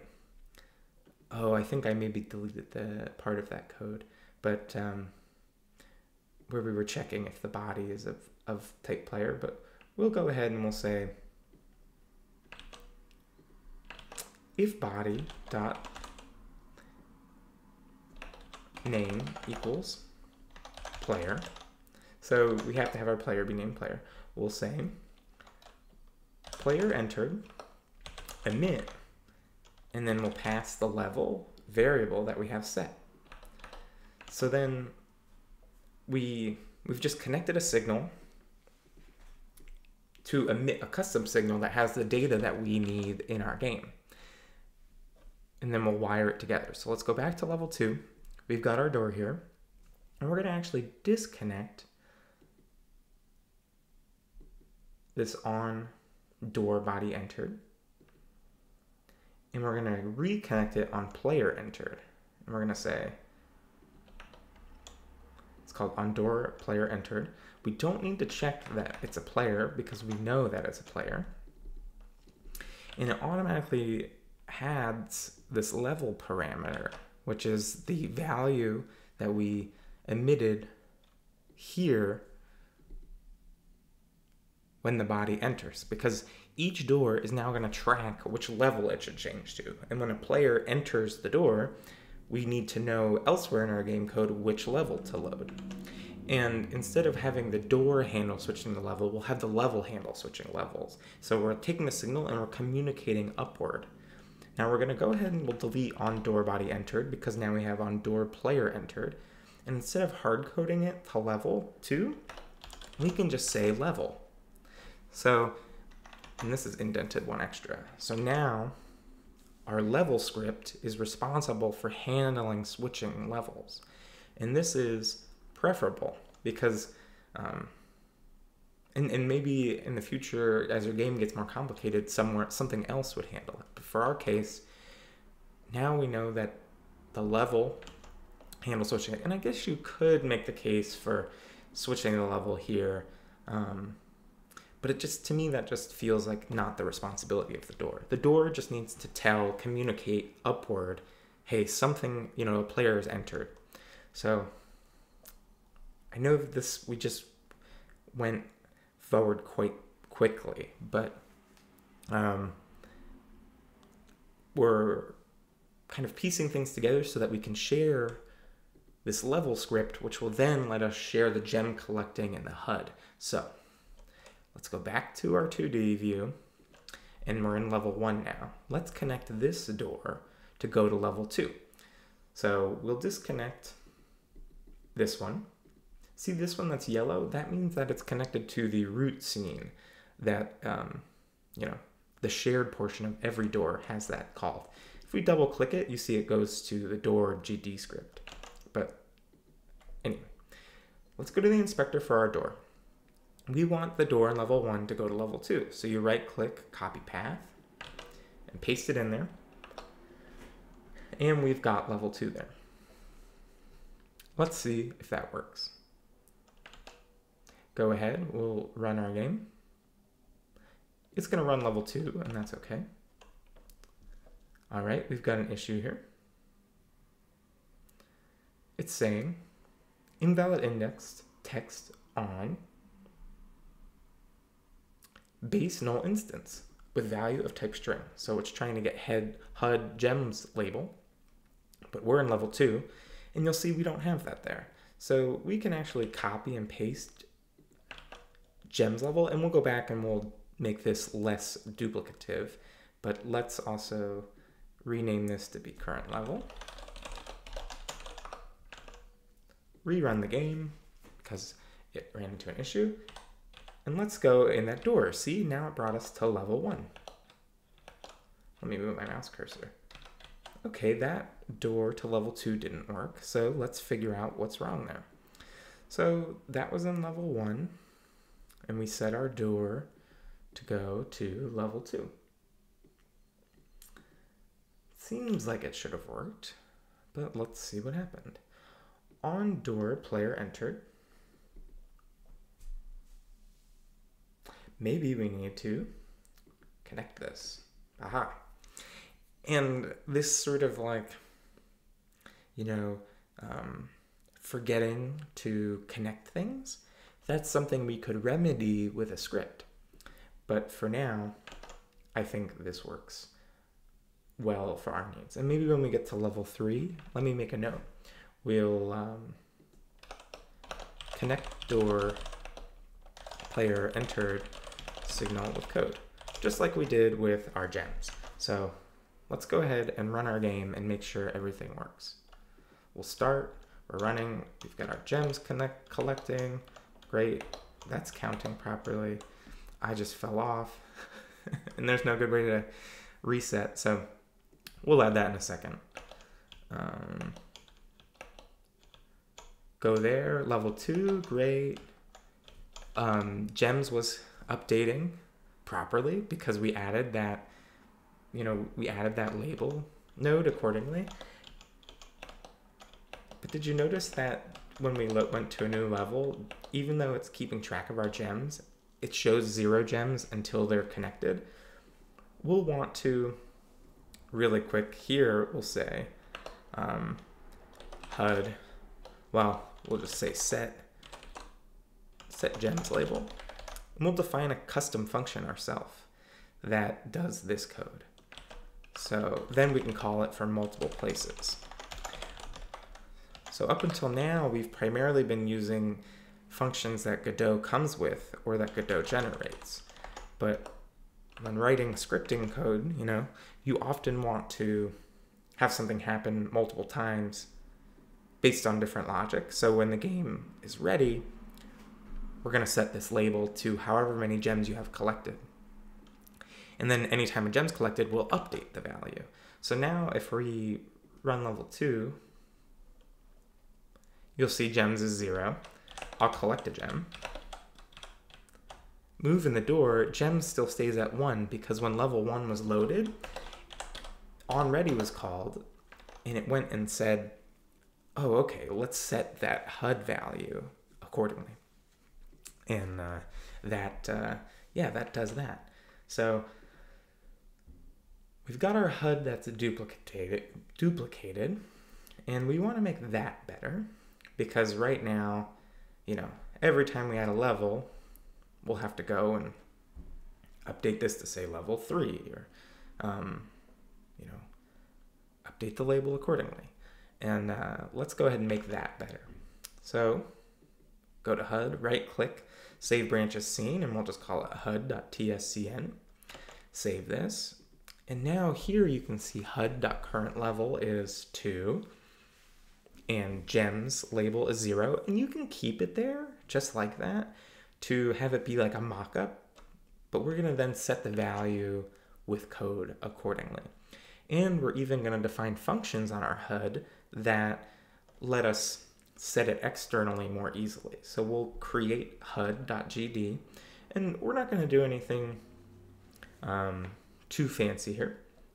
And we'll just, instead, we'll say, um, we'll add a function called level, and we'll just say number, because that'll be the level. And we'll say HUD dot current level. We'll actually copy the code from level.gd, because I think that's quite nice. Oh, we don't have that code yet. Sorry. So we'll say HUD.current, oh, we don't even need to do HUD. We can just say current level dot text is equal to a string of level colon and then space. And remember, num is going to be a number, so you just convert it to a string. Great. And then we can say func gems, and we'll count them, right? And we'll say current level.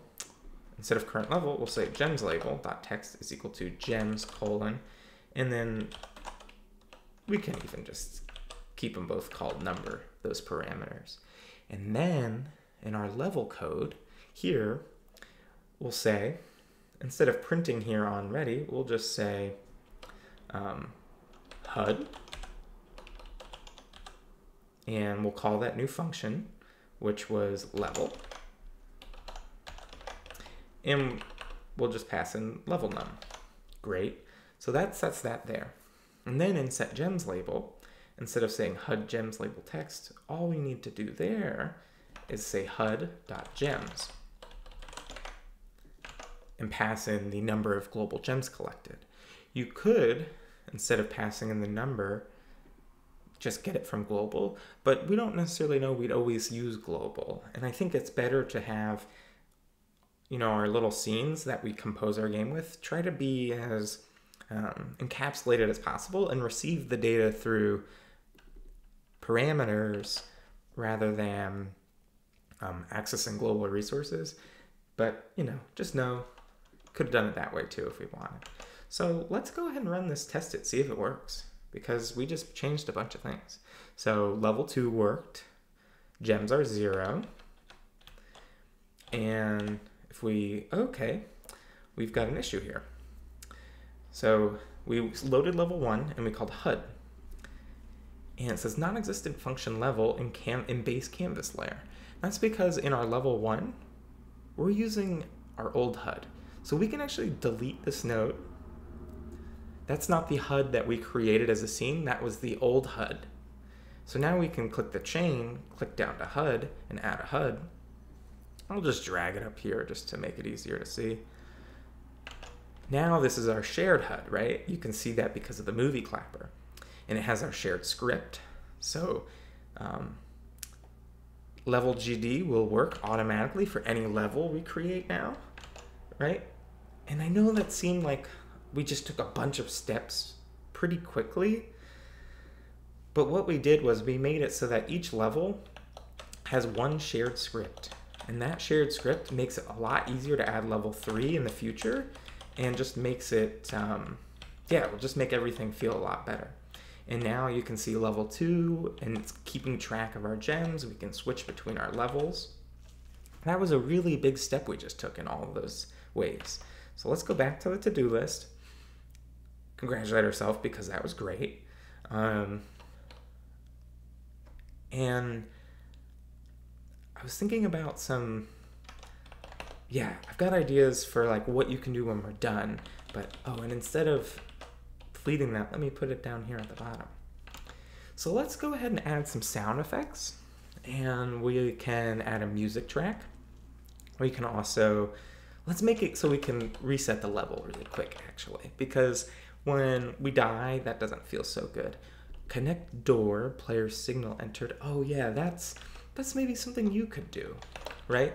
how would you make it so that you could connect your doors with code signals rather than um,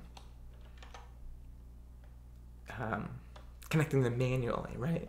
Just like we did with gems. So that's something you could do. You could make player movement feel better with acceleration drag. that would be good research to learn on your own. Um, yeah, we'll add a full screen setting just for fun. And um, yeah, we're getting really close. We're getting really, really close to the end. So let's keep going. Level reset. Okay, so let's make it so that in our level code, right, we have our level script. If we jump off the end ledge, we don't have to quit to restart. Let's go ahead and add a quick input map for that and uh, have that work accordingly. So we'll add a new action called reset level. Click add. And I'm going to map it to the R key. And I'm also going to map it to triangle on the Sony PlayStation controller, Y on Xbox, and just hit OK. Great. Then in our level code, we can say func input. If event is action pressed. And now we've got reset level as an option.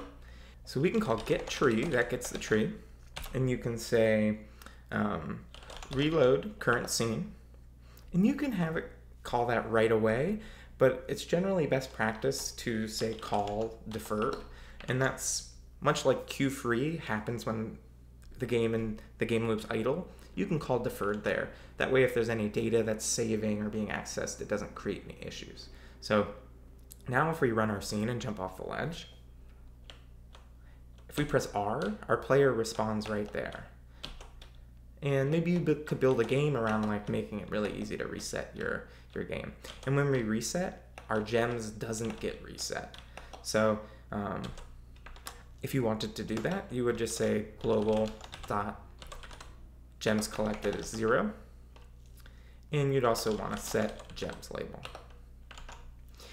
And then how could you write a function that um, does both of these things in one one call? That would be a good extra credit too. But let's go ahead and collect a gem and then we'll miss our jump. Now if we press R, it resets. Um, a good bonus extra credit too would be um, make player reset when they fall out of the level bounds. That's a little bit more advanced, but it would be something I think you could figure out given the things we know with Area 2D and stuff. So let's move that down here. Let's add a sound effect for when the player jumps. So I like to use a tool called JFS, JSFXer, JavaScript sound effectser, which is at sfxr.me. It's a free sound effect generator, and it's generally retro sound effects that um, you can just click it and you can adjust the sliders too. I like that one, and you can just play it over. You can mutate it, changes it slightly.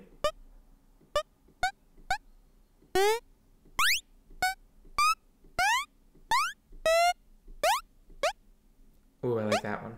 Okay, and then you just click download. It creates a .wav file.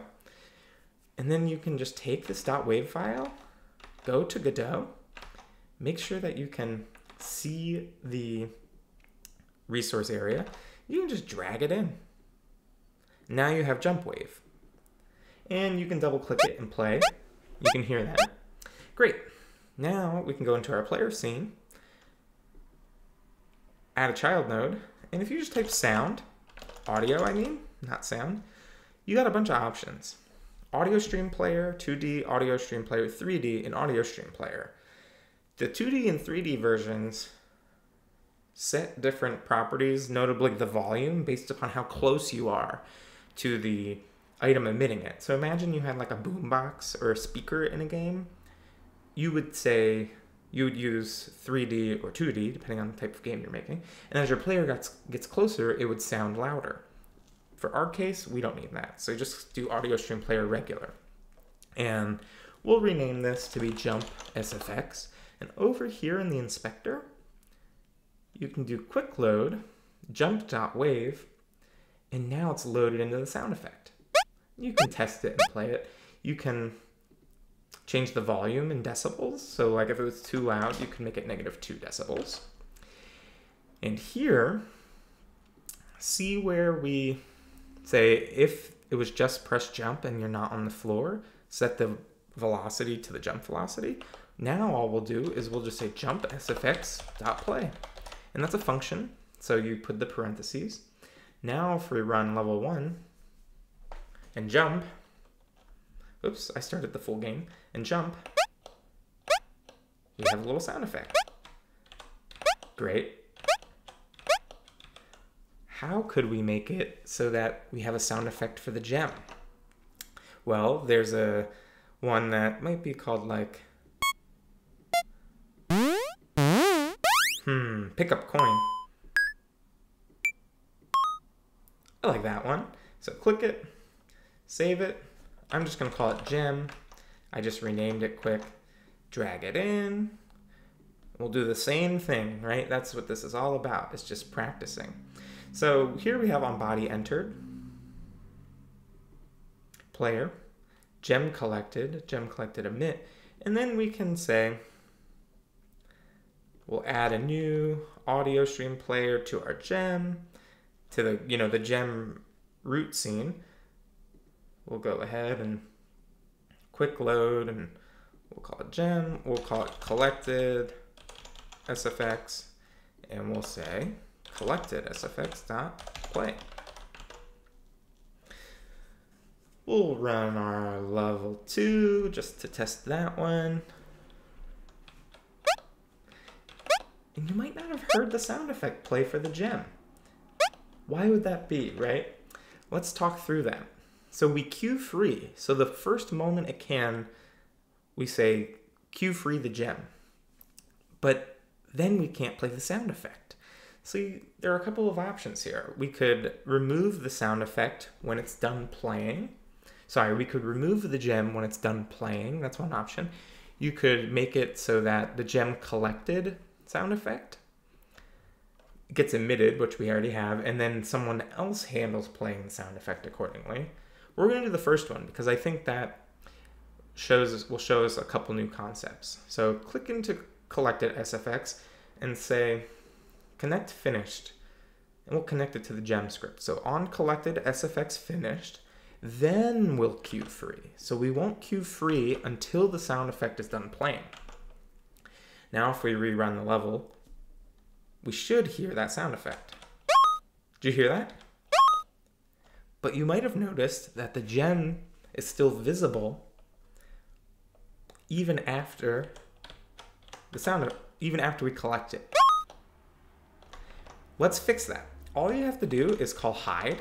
It's a function that exists and it hides itself. So instead of deleting, essentially deleting, removing the gem from the game, we hide it, we play the sound effect, and then when the sound effect is finished, we use that signal to say, okay, call queue free, which then removes the gem. So if we go ahead and rerun our game, now we've got a sound effect for the player, we've got a sound effect for the gem. Oh yeah, this also reminded me of, let's, um, as part of cleaning things up, let's go and um, we'll add level 3 at the end because that will be fun. The quit option, we'll just, yeah, we'll add that. That's easy. Um, and then we'll, um, I want to make it so that um, switching to levels with a nicer interface. Okay, sorry about that. I just um, remembered that. So we've got SFX jump and gem done, right? That wasn't too bad. I really like this tool. It doesn't make, you know, super uh, modern sound effects. They're very retro, but I think that can work really well. Music track. Okay, so music is always interesting because, um, yeah, it takes time to make, but we'll go ahead and we'll just go to Open Game Art and find one that we can use. So here's one by Wolfgang. It's an 8-bit theme. And it has a license of Creative Commons to give attribution.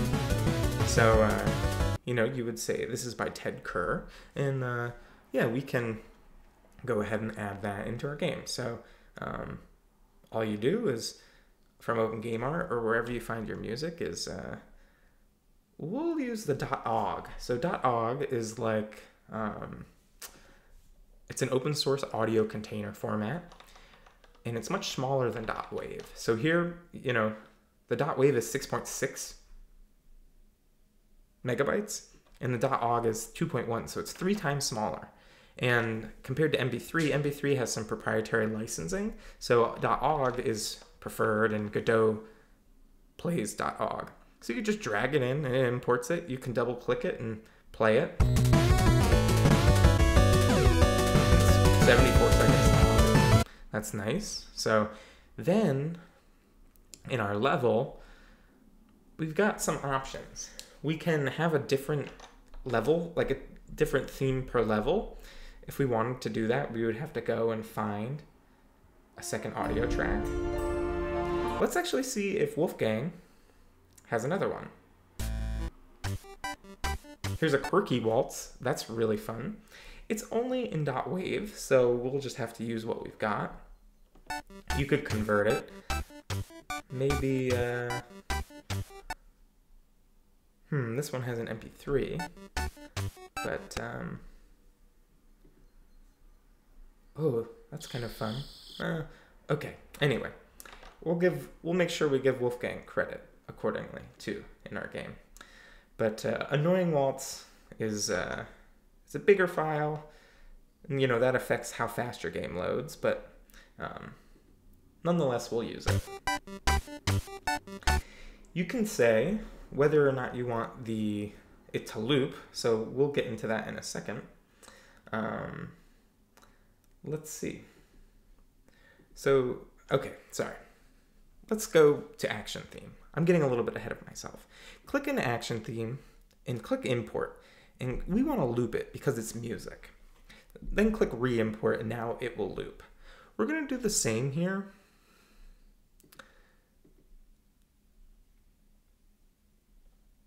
I'd like to do the same, but maybe we can't. Uh, oh, yeah, detect.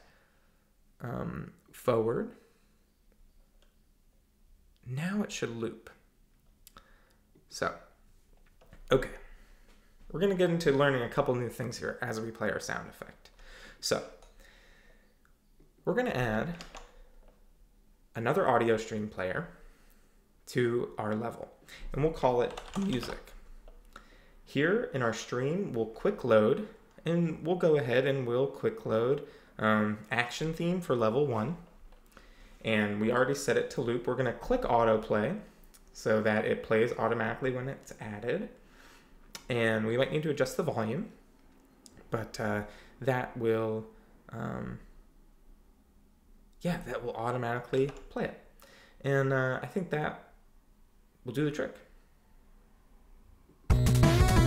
Great. Got some music playing.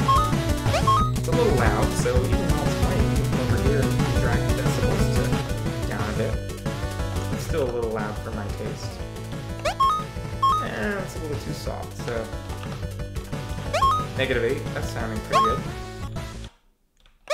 But then level 2 doesn't play any music, so all we do here is add audio stream player, music, and we set the stream, quick load, we'll make it annoying waltz. Now if we go ahead and run level 2, hmm, it's not playing, and I don't know why. Oh, because we didn't do autoplay. so you gotta remember to do autoplay. And it's a little bit hot. Okay. And then we go to level one, and it automatically switches. So now we have two levels with different music that autoplays. Cool. That was actually really easy. Let's make sure we give Ted Kerr credit. So I'm going to copy their name. And then in our main menu, we'll go to 2D, we'll add a label, and we'll just say music by Ted Kerr, and we'll also say sprites by Kenney. Even though the Kenney assets are public domain, I really like to give credit. Um, even if even if credit is optional, it's really good to be in the habit of giving credit to people. Um, I really think it's super generous that people make these free assets to use in games. So we've got sprites by Kenney, music by Ted Kerr. We're uh, a game, right? Like, isn't that cool? And when we press R, it resets the music, which is cool, just like our level. So you could go and, um, yeah, we got music. Let's figure out our next step. So we want to focus on the main menu buttons when we launch the game for controller support and keyboard support. So right now the start button only hovers and is interactable when we hover over it with our mouse cursor. But there's a way to make it focus automatically, and then it becomes controllable with our keyboard and gamepad. So I've got my PS4 controller that I just want to use to test it out. And what we can say here is in our main menu script on ready, we can grab the start button. There's a focus. There's a grab focus function. And that says when our game is ready, grab focus of this, and you can now see there's a white outline around the start button. And if you press the enter key, it goes ahead and triggers it. And when we press escape, it's focused again. But you'll notice that the gamepad doesn't work. So this is where we go into input map and we show built-in actions and see UI accept. We're gonna wanna go ahead and make it so that that works with our other keyboard mapping. So I'm going to make J, I'm to make Z, and then I'm going to make the X button on the PS4 controller, Sony Cross, work. Now if we rerun the game, I should be able to press the X key and our game starts. And I can go back to the main menu and it's focused. So that is there. Great, that was easy. Now let's make it so that we can toggle full screen on a button press. This will be pretty simple and you can make it more advanced and you could even have it save to a user setting. I have a project called Godot Skeleton. That's a starter kit for your games that handles this kind of stuff. So you could check that source out if you want to see how that's done. For our case, we're just going to go ahead and add a real simple one. So in the main menu, just duplicate start button and say, we'll call it full screen button. And we'll drag it down. Whoops. Just drag it down. I'm holding Alt. And we'll just call it toggle full screen.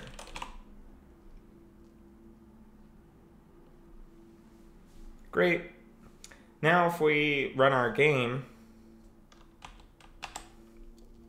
we can't move up and down to toggle full screen with the keyboard and the controller. But there's a way to make that happen. The way we would do that is we can actually add a child node called vFlow container. That's vertical flow container.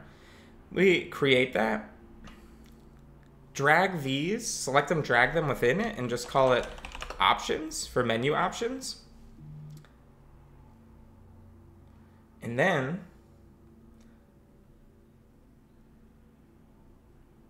we can go ahead and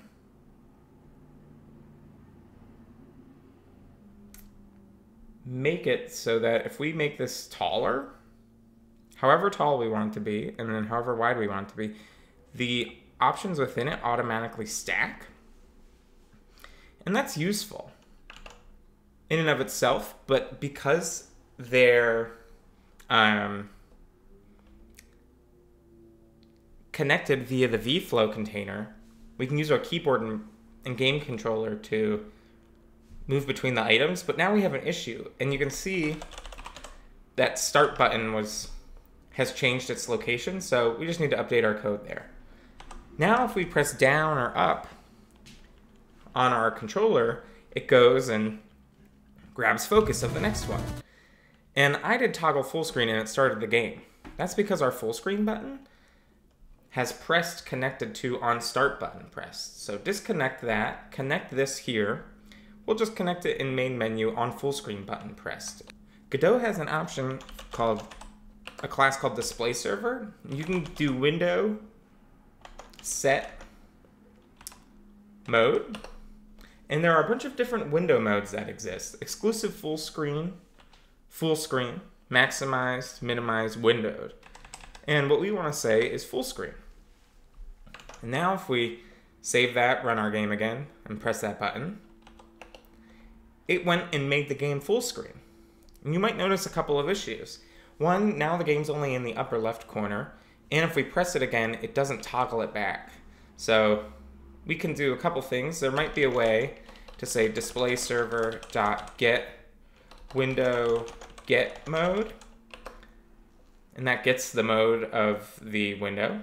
And we can do print debug to see what that is. Just out of curiosity, it's probably an enum. Yep, so it's zero. And then if we toggle full screen, toggle it again, quit our game, it's set to three. So we can do this. We can say if window.get mode equals equals display mode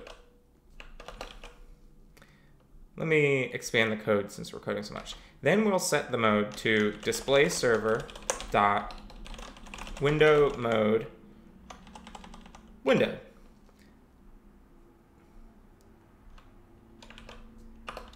I forgot my colon at the end here. elif if the display mode server is window mode windowed, then we'll set it to full screen. And I think full screen is preferable to exclusive full screen because exclusive full screen can, like, I think it affects the resolution in a way that might be undesirable for your, like, host operating system. So now if we go and toggle full screen, we can toggle it back and forth. And that's pretty nice, you know. It'll always launch windowed, but uh, if you wanted to change how your game launches, you would just do this in are global ready, but I don't want to do that, so we'll leave it. But um, so that's that. Now we have full screen toggling, but we notice that it scales funny. And if you take your window here and scale it, it's kind of weird, right? The level gets cut off. That's not what we want. We want the game to actually get smaller with it. So we can go to project, project settings, and in general, there's just a ton of different project settings that you have. You can set your game icon, which that would be kind of fun to do. We'll do that at the end. Let's make a little to do. Um, but what we want to do is go to display window. And this is also a place where you can change how it launches too. So you could do it in your settings or you could do it in your code. But we're going to leave it as is. But we want to go into a stretch. And then in stretch mode, it's disabled. I think we want to do stretch viewport and keep the aspect ratio. So now if we run our game and we change that, see how it scales and we get the black bars, the letterboxing? That's preferable for this type of game because now if we make it bigger or smaller, the game reacts accordingly. Now, for some reason, our toggle full screen button doesn't work anymore. So let's try to figure that out. Um, maybe it was just being funny while we were uh, changing that. So now we can toggle full screen. We scale the window size accordingly. And you might notice text gets a little blurry when you scale it. I truthfully don't know how to fix that at this point. There might be different ways to do it. I'd have to do some learning. Um, but it does, uh, text does appear to get a bit blurry and pixelated. If you used a pixel font and you scaled your game like this with that viewport setting, that would look pretty nice. So um, I just want to see something really quick. If we did mode canvas items, Let's just see what that does, because I don't even know. Oh, everything looks a lot, a lot smoother with the uh, with the text. So I think we're living and learning. That's awesome. Let's figure out what that does. So, Godot mode canvas items. Let's see what that does.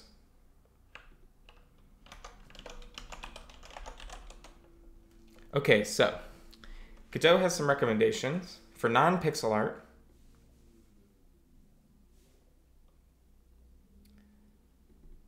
Use the stretch mode canvas items. We're using pixel art. For pixel art, change the stretch mode to viewport.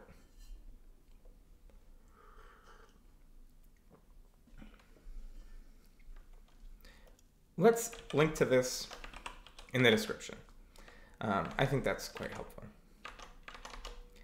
So I'm going to leave it as canvas items because I think it makes the text look a lot bigger or look a lot better, but you know, change it as needed. So we've got our full screen setting. Let's put that in done. Now our next one is we want to add the ability to quit the game. And also we only want to show that on the web on desktop because in web builds, you can't quit it. You know, you would just close your tab. And also full screen toggle on web is a little different itch.io, where we'll host the game, will handle that for us. So we're going to hide that on uh, web browsers too, uh, our full screen toggle. So let's go to our 2D view. And here in our options button, we'll just add another button. We'll call it quit button. We'll give it the text quit. And in our node, we'll say pressed on quit button pressed, and you can actually just do get tree. You can call the quit function. So now when we launch our game, we can navigate down and quit the game. That's kind of nice. I also missed a couple of input maps. So let me just go ahead and um, you might need to add it for UI left, right, up and down because I want to support WASD. Um, I'm just going to map these really quick. Because these are the built-in UI actions. And UI up. I just noticed because I pressed WASD to navigate the menu and it didn't work. So now we can quit. Great, but let's make it so that our quit button and our um, full screen button are hidden if we're not if we're not on the desktop computer. So Godot has this handy check. We can say if in our ready for main menu, if OS has feature. And there's a feature called PC.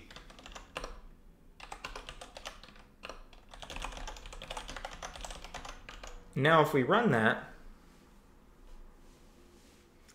PC gets output. So we know that we're on a PC. And we can click into here, has feature, and we can refer to the feature tags document to see what exists. So you can check if it's debug, you can check if it's desktop or mobile or web. And what we checked there was PC. So if it's a PC platform, desktop or laptop. If it was web or mobile, it would return false.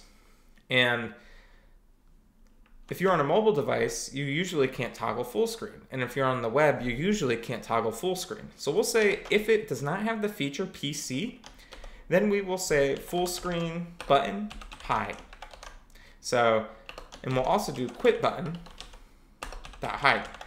So now those will both be hidden only on web and PC build or web and mobile build. So anything that's not desktop PC. And we'll see that when we upload the game to itch. But for now, just know that that's there. Okay, great. We've got the quit option. Let's set the game icon.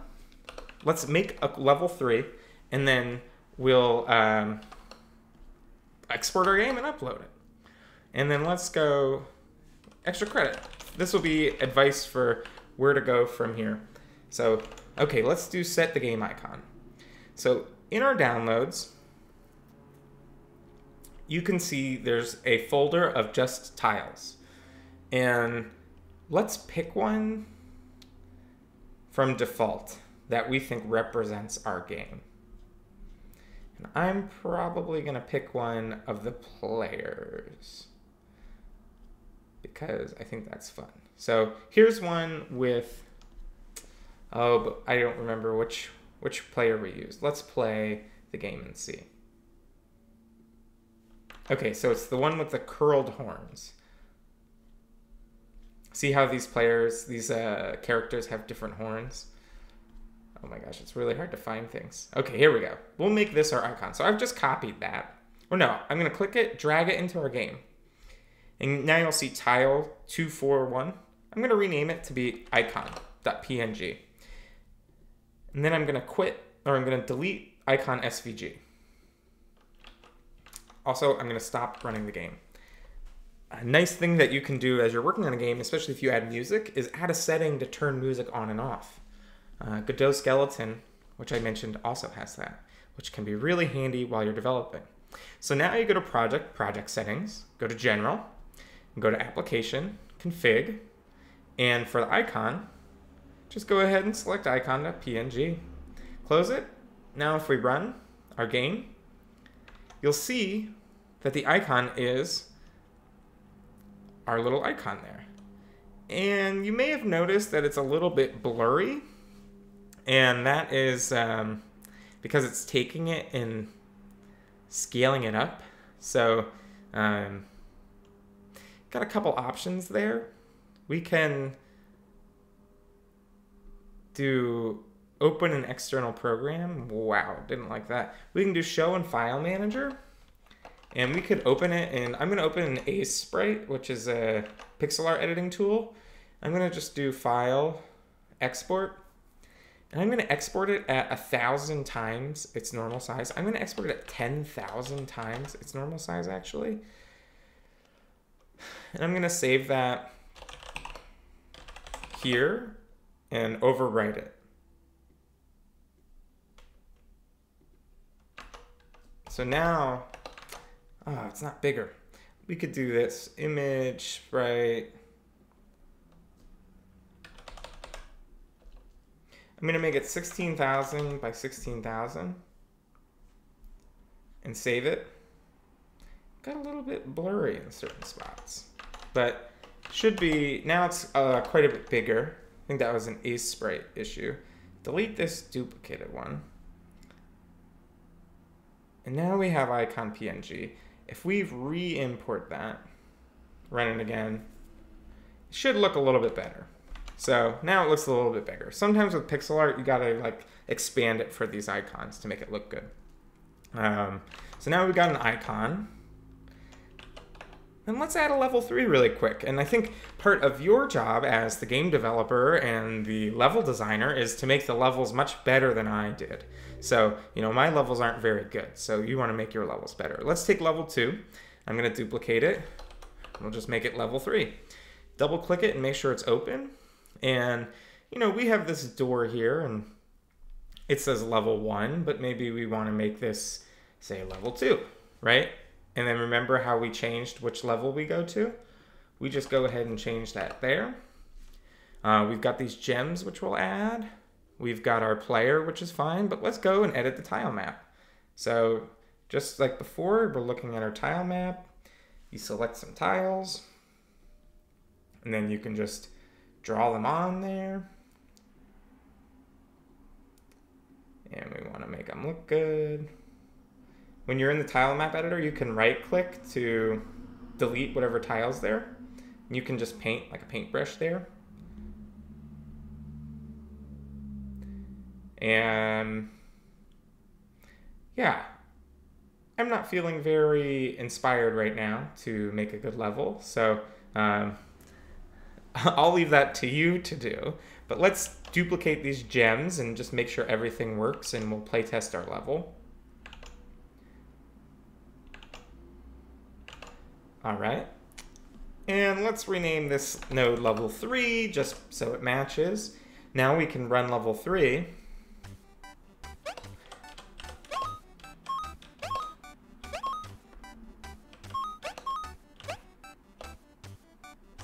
Now we can go to level two. But in level two, let's make it so that we can go to level three. So we'll just add another door here to level two. Go into level two, go door. Door needs to be duplicated. Drag it here. Change the label. And we'll make it go to level two. Save that, it automatically updated, so we can, could have tested it. Um,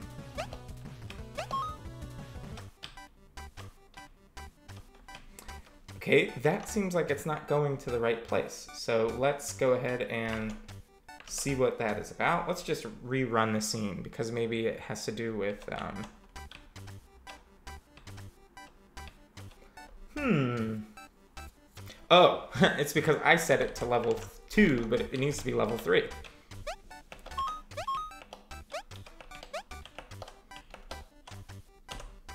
Also, something that I'm noticing on level 3, sorry, I'm a little all over the place, is that our HUD is that we didn't change this number here to level 3. So, now that it's changed to level 3,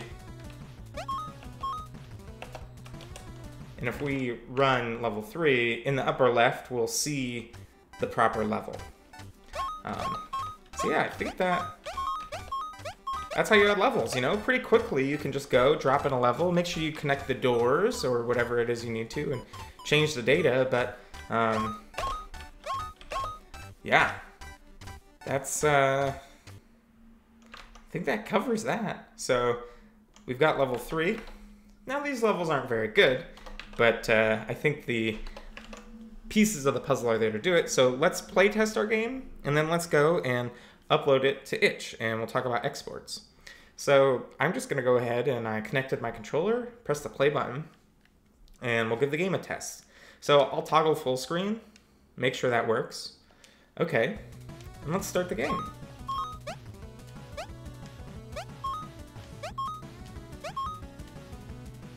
I'm gonna move my mouse. You can hide the mouse cursor too if you wanted. There's a option for that.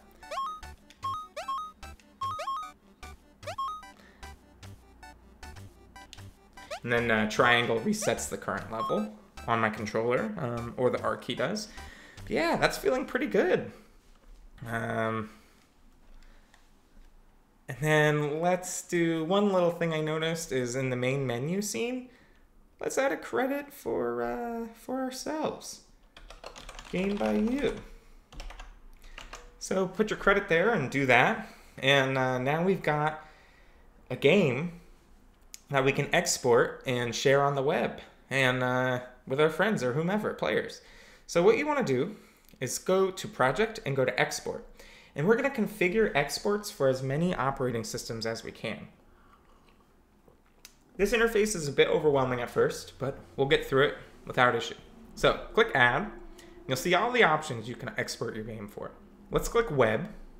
I'm just going to say it can't find export templates. So click this manage export templates. And you need to download the export templates for whatever version of Godot you're using. And it downloads nearly seven, you know 750 megabytes of data. This is the different templates for each operating system. So, you know, for web, for Linux, for Windows, for Mac, Android, iOS, there's like basically a wrapper or a shell that has Godot compiled for those operating systems. And it takes our game data in here and builds our game using them. So while Godot, the program, is pretty small, we need this export data in order to share our game with people who don't have Godot installed. And it takes a little bit of time, but not too bad. And then it says, okay, they're installed and ready to be used. You can close that. Then we go back to project, back to export. Our web export's still there. And now we need to go and click here in the export path and tell where we want it to export to. I like to create a new folder called exports. And then within there, I'll create a new folder called web. And then within web, name the file index.html. This is what itch.io needs. Click save. And then there's a bunch of other settings too. And I'd say don't worry about those quite yet. Those things that we just did, just where to export it, naming it properly, index.html and web, that's all you need to do. Then, depending on which operating system you're exporting your game on, you can export for other operating systems. A kind of funny thing is that on Mac OS, you can export it for pretty much all the major operating systems, whereas on Windows and Linux, you can't export it for Mac. So there's some weird things there. Um, and then now you'll see for our Mac OS runnable path, I'm going to put it in exports. And I'm just going to call it 2D platformer Mac dot app and save that. Again, there are other settings, but if you're on Mac OS, you have to set the bundle identifier. So you can just do like com dot your name dot um, you know some kind of unique identifier. That will do it for Mac. I'm going to do it for Linux. And then here again, sorry, this window gets really unwieldy sometimes. Click into here, instead of 2D platformer Mac, I'm just going to call it 2D platformer.linux.x86 underscore 64. That's just like the Godot's file extension for Linux. And I'm going to leave these things here. And you can embed the PCK. The PCK is your packaged game files. And if you just want like one file, one executable that you can send to someone, you can embed the PCK. And you can do that in Linux. You can do that in Mac. Or you can not embed it. Up to you. I'm going to click embed so that we just have one easy file to distribute. And then Windows Desktop is the final one. I'm going to embed the PCK. I'm going to set the export path to instead be 2D Platformer Windows. And I'm going to make that a .exe because that's the Windows executable name. And now we have all of our exports configured. configured. And you can export them one at a time by clicking Export Project and unchecking Export with Debug. Or now that we have them all configured, you can click export all and do release because this is our release build and it will go and export your game for all of these platforms. And there might be some warnings like there is for Windows, but uh, it completed them. And now you're like, whoa, my game's exported. So you have to go into your game folder and find that exports folder. And you'll see here's our game. We have the Mac version, the Windows version, the Linux version, and the web version. If you clicked index HTML, it's not going to work because you have to properly um, set up your web server for serving it, but it'll work when we upload it to itch. So let's just double check that the game works on our platform. I'm on Mac, so let's just make sure that works. Okay, yeah, look, I can just run this dot app file and I can toggle full screen, I can run the game, Awesome. That means I could go and send this to a friend. And then what I'm going to do is I'm going to compress all of these into zips so that they are smaller and faster to download for people and it will upload faster to itch.io because out of the box godot games are pretty hefty in size like if i look at the linux build it's 76.8 megabytes the mac plat the Mac build is 145 megabytes. It's pretty big. But if I look at the Mac app now, compressed, it's almost two thirds smaller, which is, you know, pretty considerable. So um, that is a downside to Godot web builds or Godot builds is that they are quite a bit bigger, especially in Godot 4. Uh, so you go into the web folder and don't compress the top level folder web, compress all the files within it. And then I like to rename it 2D platform Web. And I'm going to move this up to my exports folder. So now when I go here, if I organize these by name, let's actually organize them by kind. We can see all these zips here. These four zips, we have Linux, Mac, Web, and Windows. We're ready to upload them to itch. So what you do is you go to itch.io. Let me close some of these. I'm going to save this feature tags to put in the video description. And you go to Itch, you can create an account if you don't have one already. Itch is a website for sharing games. And you go to your dashboard.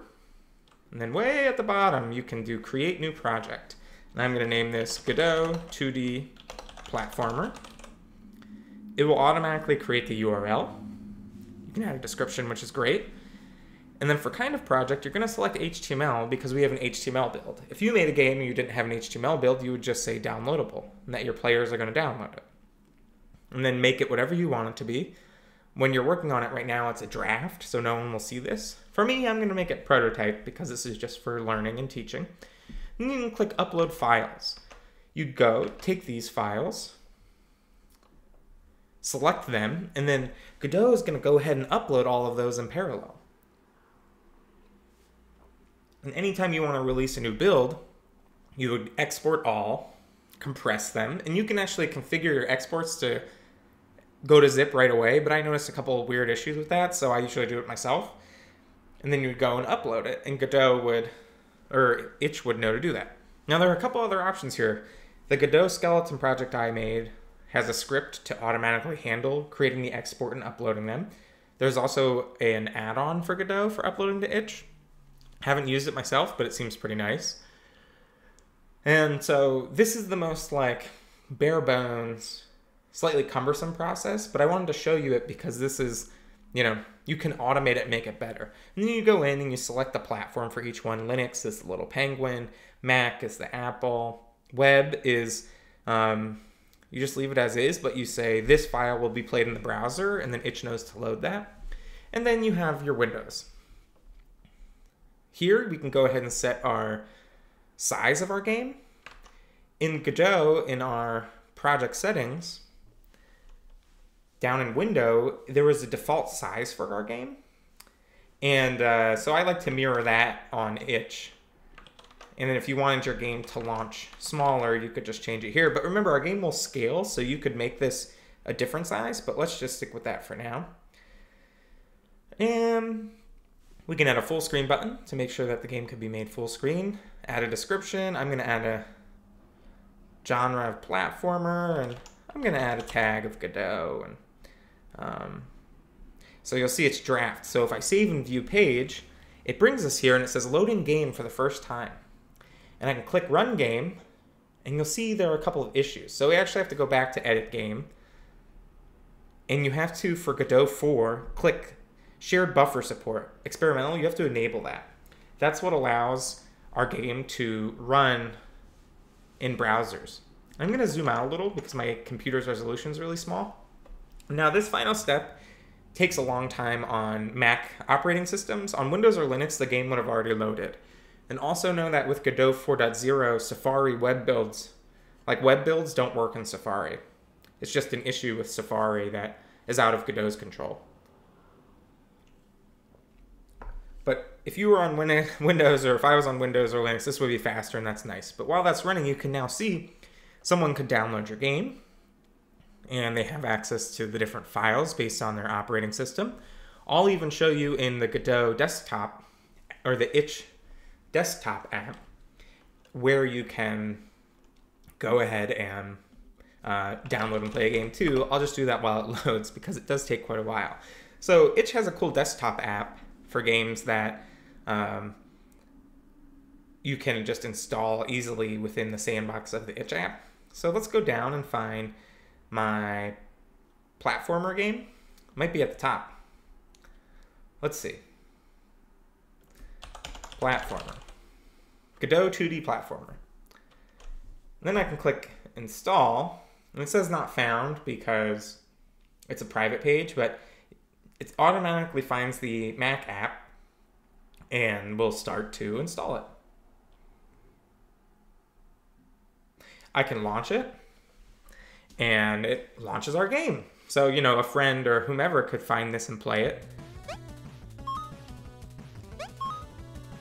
Hmm, it seems like the music's playing twice.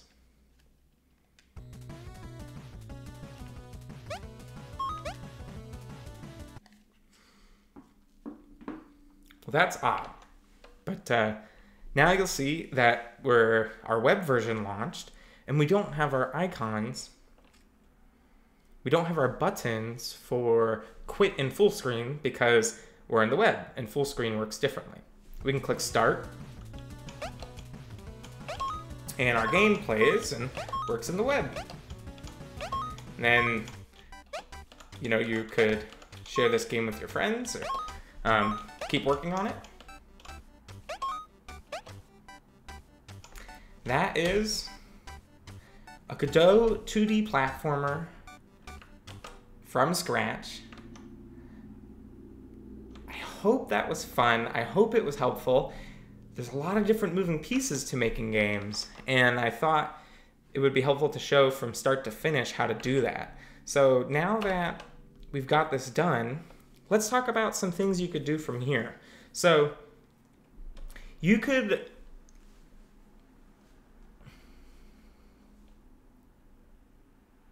you could instead no, I don't even know what that is. Let's just get rid of that one. I forget the context there. So one thing that I've noticed is that the player movement feels pretty bad. Um, the way the player controls just feels real, um, real slimy to me. And you would want to make your player movement feel better. There are a lot of options here, and I think part of learning game development is independently researching and figuring this stuff out. Um, I have a project on GitHub called Godotypes where I have smoother platformer movement. I would recommend looking at that if you need some guidance. But right now, the way that this moves is that once you press a button, we just immediately apply the full speed. So your player goes from zero to full speed real quick, your playable character. You would want to add some acceleration and deceleration and some drag. That would make the platforming feel a lot better.